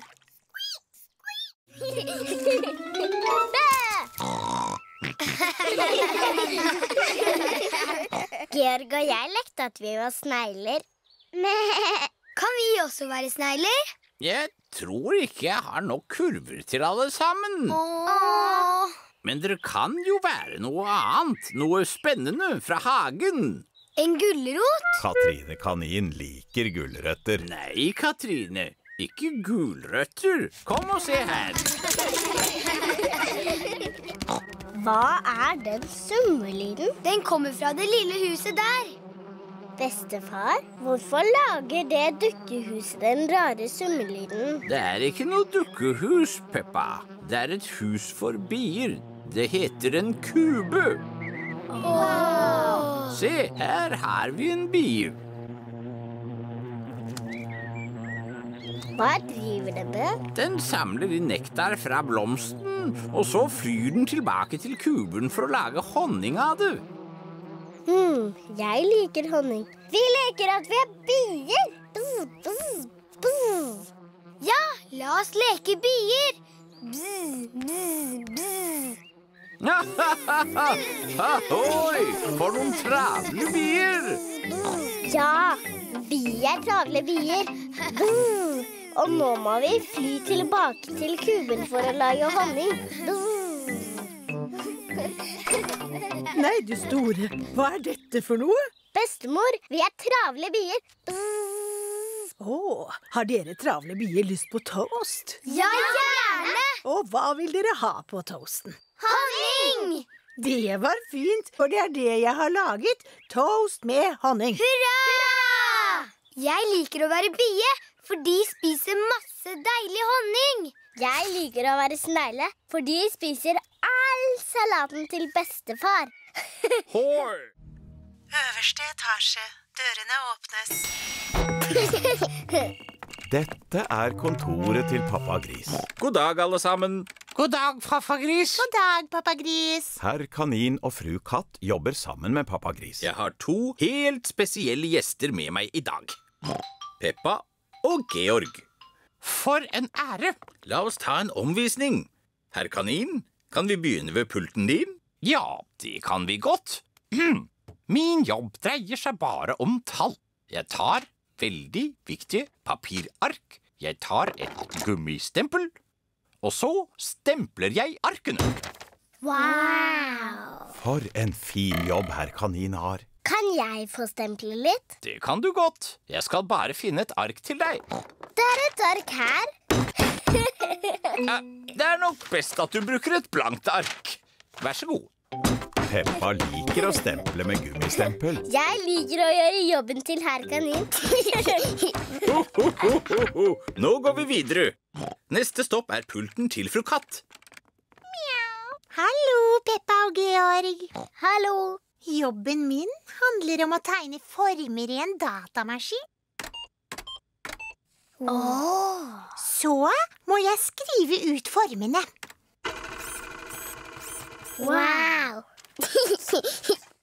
Og her er en kopi til. Tusen takk. For en fin jobb fru Katt har. Kan jeg få prøve? Kanskje det er Georgs tur nå. Det er sant, Georg. Nå er det din tur til å jobbe. Georg lager blå trekanter. Nå skriver vi dem ut. Jeg liker å gjøre jobben til fru Katt. Vil dere se pulten min nå? Å ja! Bestefar Gris bruker metalldetektoren for å finne nedgravde skatter. Aha! Metalldetektoren har funnet noe. Vi graver det opp. Det var en liten mynt. En skatt. Hurra! Vi prøver å finne mer. Aha! Vi har funnet noe annet. Det høres stort ut.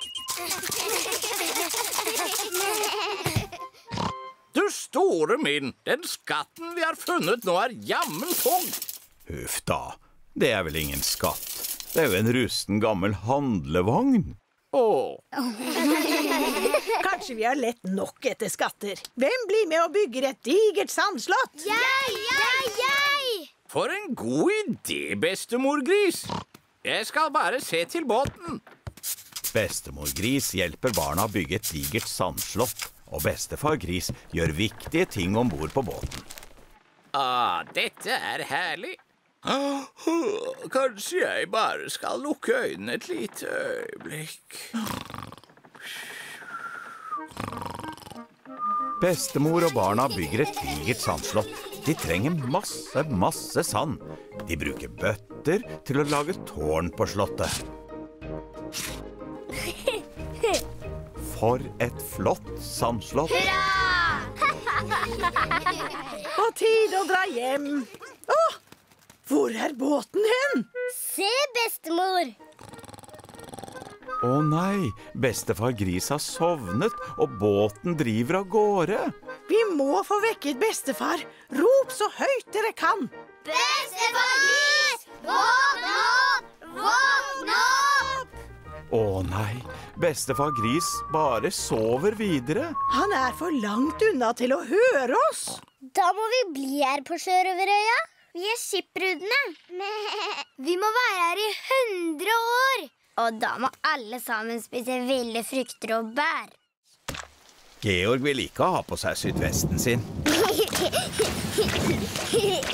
Peppa! Georg! Kom inn nå! Det regner for mye til å leke ute nå. Å, Georg. Hvor er sydvesten din? Georg er blitt forkjølet. Å, stakkars lille Georg. Du høres ikke bra ut. Ikke vær redd, jeg ringer doktor Brunbjørn. Du snakker med doktor Brunbjørn? Jaha. Du får legge Georg, så kommer jeg innom. Takk for det, doktor Brunbjørn. Adjø. Må Georg kjøres på sykehus og få medisiner? Nei, han må bare gå og legge seg. Å, så Georg er ikke egentlig ordentlig syk? Å, så innmari ekkelt! Stakkars Georg. Nå må vi få deg i seng. Georg, nå må du holde sengen en stund. Nei. Georg vil ikke holde senga. Achoo! Georg, du må holde senga til du er bedre. Hvorfor det? Fordi du må holde deg varm. Hvorfor det? Uh, fordi doktor Brunbjørn sier det. Hallo, hvor er pasienten min? Gap opp og si A. Georg er litt engstelig. Hm, Peppa, du er stor og modig. Kan du vise Georg hvordan han sier A? Det er klart. Ah. Ah. Hm, Georg har en forkjølelse. Trenger Georg medisiner? Nei, men han kan få et glass varm melk ved sengetid for å hjelpe ham å sove. Takk, doktor Brunbjørn. Ingen årsak. Adjø.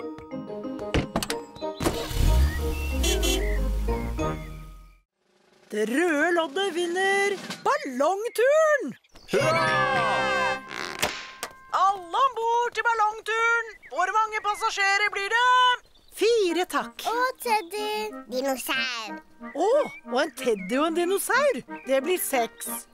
Alle om bord! Hei, pappagris, hopp om bord! Fort, pappa. Splitte mine bramseil, kast anker!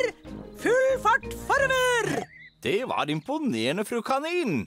Du er nok en dyktig pilot. Ikke så veldig. Dette er første gangen jeg styrer en ballong. Oh. Hold dere fast! Fru Kanin varmer opp luften i ballongen slik at den stiger opp. Ha det bra. Er det noen som kan lese kartet for meg? ja, jeg. Er du sikker, pappagris? Jeg er veldig flink til å lese kart. Å, dette kartet var litt grann vrient. Skal vi gå høyere? Ja, gjerne. Høyere! Høyere! Ballongen stiger høyt opp i skyene. Å, hvor er himmelen hen? Ikke vær redd, Peppa. Vi flyr bare gjennom en sky. Wow! Himmelen er tilbake igjen! Hurra!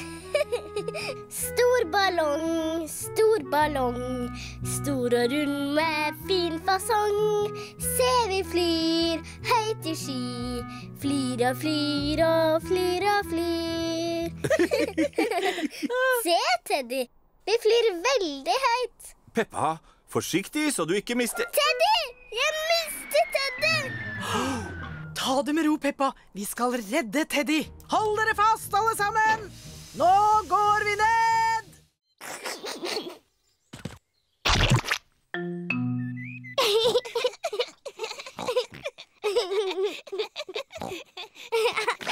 Peppa og Georg elsker å hoppe i søledammer.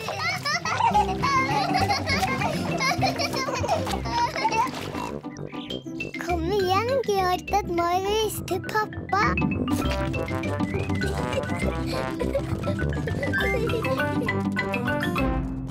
Du store min.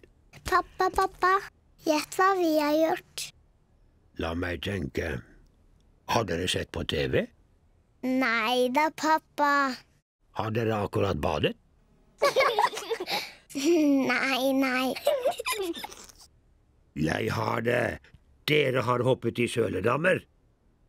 Ja, pappa. Vi har hoppet i søledammer. Ho-ho, og sånn som dere ser ut. Å. Ja ja, det er jo bare søle. La oss tørke dere før mamma ser all skitten. Pappa, når vi har vasket oss, kan du og mamma bli med og leke da? Ja, vi kan leke i hagen alle sammen.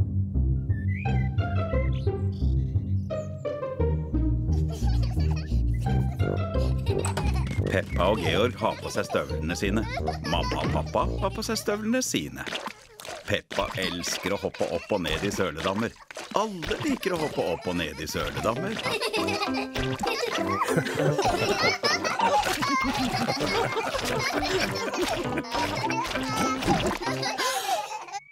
Å, pappa gris. Se så skitten du er. Det er bare søla.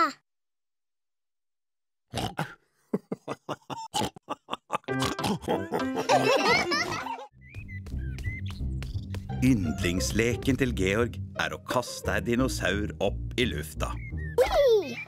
Og fange ham når han faller ned igjen.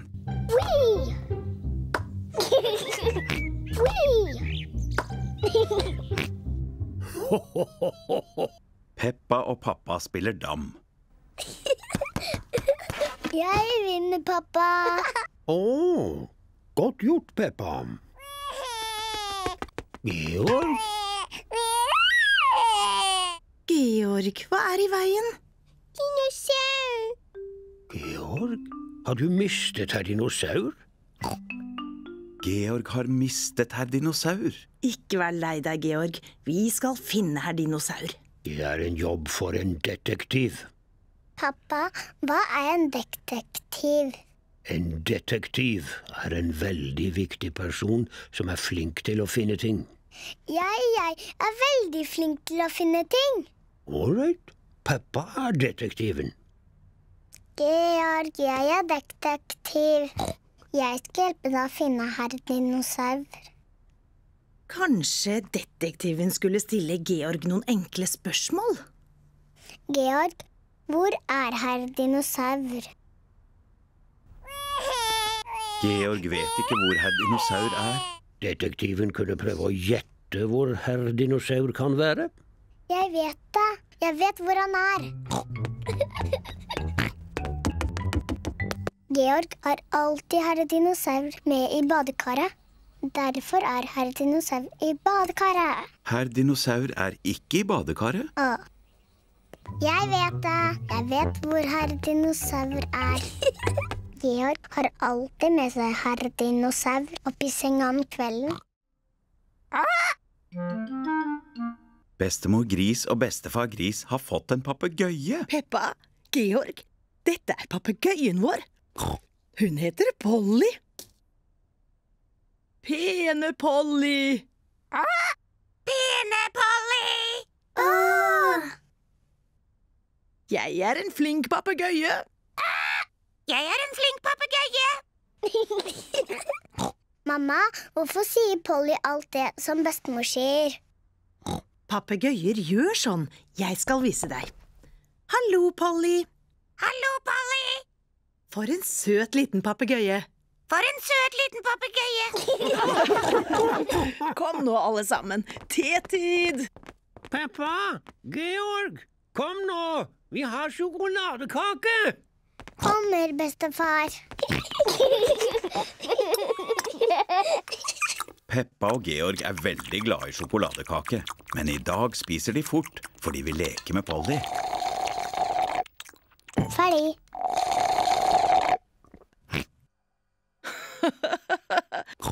For noen små bråkmakere dere er. Bestemor, kan vi få gå fra bordet for å se på papegøyen Polly? Er dere sikre på at dere er ferdig med sjokoladekaken? Bare gå, dere. Hurra!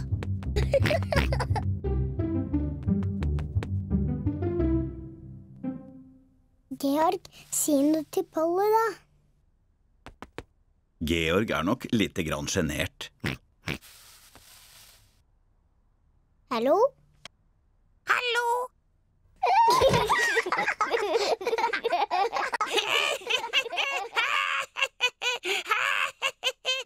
Peppa og Georg liker å leke. Mamma, kan vi spille det PC-spillet? Glade fru høna? Vi kan spille Glade fru høne senere, men nå må jeg jobbe. Mamma, kan vi hjelpe deg? Nei, Peppa, du må ikke røre PC-en. Og Georg, du må heller ikke røre PC-en. Nei, Georg, du må ikke gjøre sånn. Peppa, stopp! Unnskyld, mamma. Jeg skulle bare vise Georg hva han ikke måtte gjøre. Å nei, nå begynner PC-en å oppføre seg merkelig. Pappa Gris! Pappa Gris! Hva er det, mamma gris? Pappa Gris, kan du reparere PC-en? Um. Jeg gjør ferdig maten mens du fikser PC-en. Uh, jeg skal prøve, mamma gris, men jeg er ikke så veldig flink til sånt. Tusen takk, pappa Gris. Nå skal pappa Gris reparere PC-en.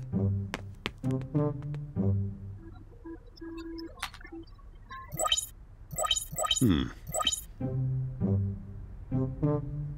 Ja, kanskje jeg bare skal slå den av. Og så slår den på igjen. Pappa Gris har reparert PC-en. Hurra, pappa! Ja, jeg er nok litt av en ekspert på slike ting. Pappa, kan vi spille det PC-spillet Glade fru høna? Kanskje du skulle spørre mamma Gris. Mamma sa at vi kunne spille det senere. Da er det i orden, da. Men jeg vet ikke hvor CD-en er.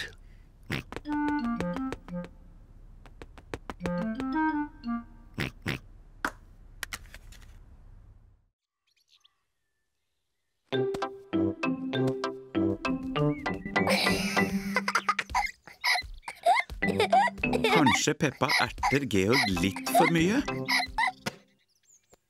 Peppa, har du ertet Georg? Ikke på ordentlig, mamma. Jeg bare lærte han å ta imot. Sier du det? Men jeg vet om en lek som kan lære Georg å ta imot. Den heter Nøff-Nøff i midten. Peppa, du tar ballen og står der borte. Og Georg, du står der. Fint! Dere skal kaste ballen til hverandre, og jeg skal prøve å få tak i den. Jeg er Nøff-Nøff i midten. Mamma er naff-naff i midten. Ta imot, Georg. Å, jeg bomma! Georg tok imot ballen. Hurra! Godt gjort, Georg. Kast nå ballen til Peppa. Ops, prøv igjen. Å, prøv igjen. Georg klarer ikke å kaste ballen forbi mamma Gris. Kom igjen, Georg. Gi ballen til meg.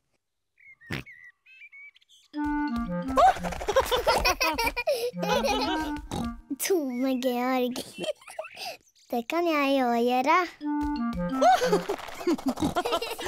Peppa vil gjøre det samme som Georg, men hun er for stor og blir sittende fast. Jeg har ballen. Peppa, nå skal du være Nøff-Nøff i midten. Georg, ta imot. Hurra! Jeg har den. Georg, du er nøff-nøff i midten.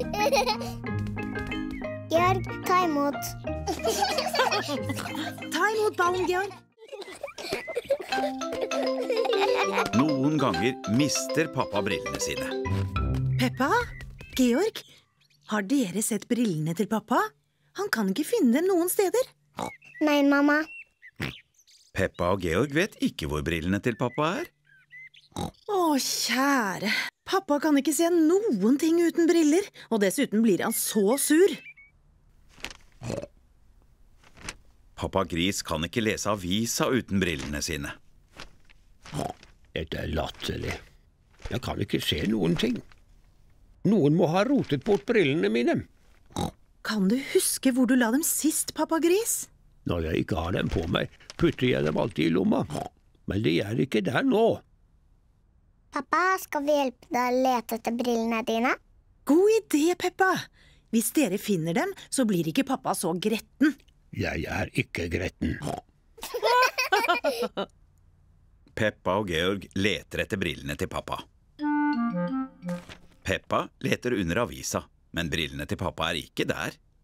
Åh, Georg kikker opp på TV-en, men brillene til pappa er ikke der heller. Åh. skal vi se opp på soverommet til mamma og pappa?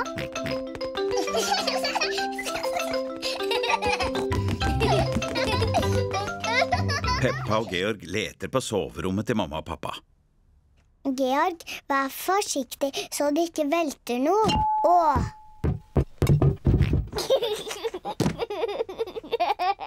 Det var ikke morsomt.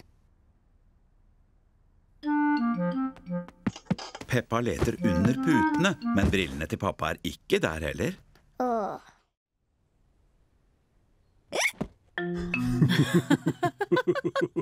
oh, ok da. Dere kan gå ut og leke. Men pass på, Georg.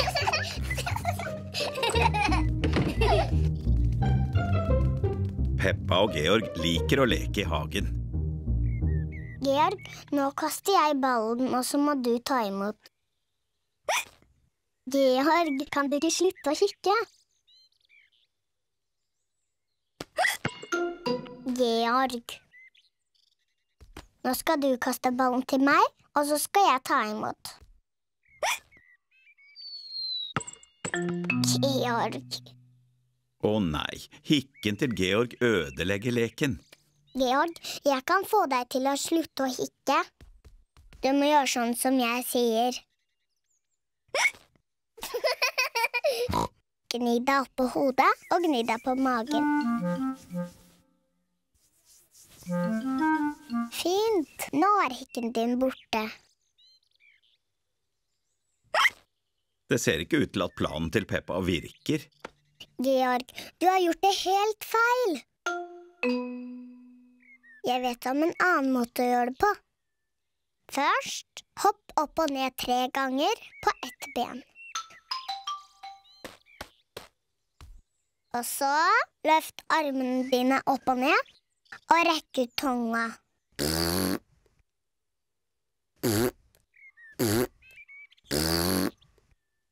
Og så lukk øynene og snu deg rundt fort. Tre ganger.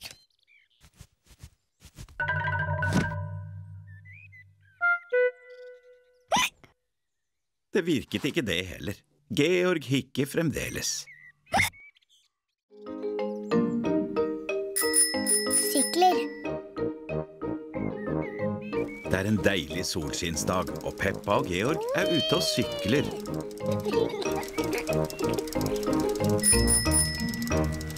Det er et flott gresskar, pappa Gris. Pappa Gris er veldig stolt av gresskaret sitt. Gresskar er det eneste jeg klarer å dyrke. Kanskje fordi jeg elsker gresskarpai. Kom igjen, Georg. Hei, Hasse, Susi og Katrine. Peppa og vennene hennes, Hasse hund, Susi sau og Katrine kanin, er ute og sykler. Georg sykler på sin trehjulssykkel. Å, han sykler så sakte. Vi kjører om kapp til gresskaret til pappa Gris. Hvis vi kjører om kapp til pappas gresskar, må vi være forsiktige så vi ikke treffer det. Pappa blir veldig lei seg hvis det går i stykker. Ikke vær redd, Peppa. Jeg vinner. Peppa og vennene hennes kjører rett mot gresskaret til pappa. Hei, pass på gresskaret mitt! Hurra! Peppa! På! Pappas gresskar! Unnskyld, pappa. Se på Georg. Han sykler så sakte. Georg sykler på babysykkel ennå, han. Du har babysykkel du òg, Peppa. Du har støttehjulet på ennå. Jeg kan sykle uten støttehjul. Jeg òg. Jeg òg. La oss sykle opp bakken igjen. Kom igjen nå, Peppa. Nei, jeg tror jeg blir her. Se deg senere. Ha det. Peppa skulle ønske hun ikke hadde støttehjul på sykkelen sin. Georg, dette er min hemmelige eske. Den er tom. Jeg må finne noe å putte oppi den. Georg vil hjelpe Peppa. Nei, Georg. Det er bare jeg som må vite hva som er i esken. Du må vente utenfor til jeg har bestemt meg. Peppa skal velge ut noen hemmelige ting som hun skal ha oppi esken. Nå er den hemmelige esken min full. Georg, du må ikke se inni. Georg skulle gjerne visst hva som er oppi esken til Peppa. Hvis du vil, kan du prøve å gjette. Dinosaur! Georg tror Peppa har puttet en dinosaur oppi esken. Å, Georg, du sier alltid dinosaur til alle ting. Dessuten er en dinosaur altfor stor til å få plass i esken. Georg klarer ikke å gjette hva som er inni Peppas eske. Pappa Gris tørker av et bilde. Pappa, dette er min hemmelige eske. Mamma har laget den til meg. Den er veldig fin, Peppa. Hva er inni? Det er en hemmelighet. Georg prøvde å gjette, men han greide det ikke. Kan jeg få prøve? Ja, Hm. Har du puttet brillene mine oppi? nei. Du har jo brillene på hodet. Der er de, ja. Tullepappa. Du må gjette ordentlig nå. Ja vel. Har du puttet mammas sko oppi esken? Niks. Og alle gjettingene er brukt opp. Peppa liker hemmeligheter. Mamma, ingen vet hva som er oppi esken min. Å, hva er det Georg har? Jeg laget en eske til Georg òg, og han har fylt den med hemmelige ting. Og bare Georg vet hva som er oppi. Peppa Gris.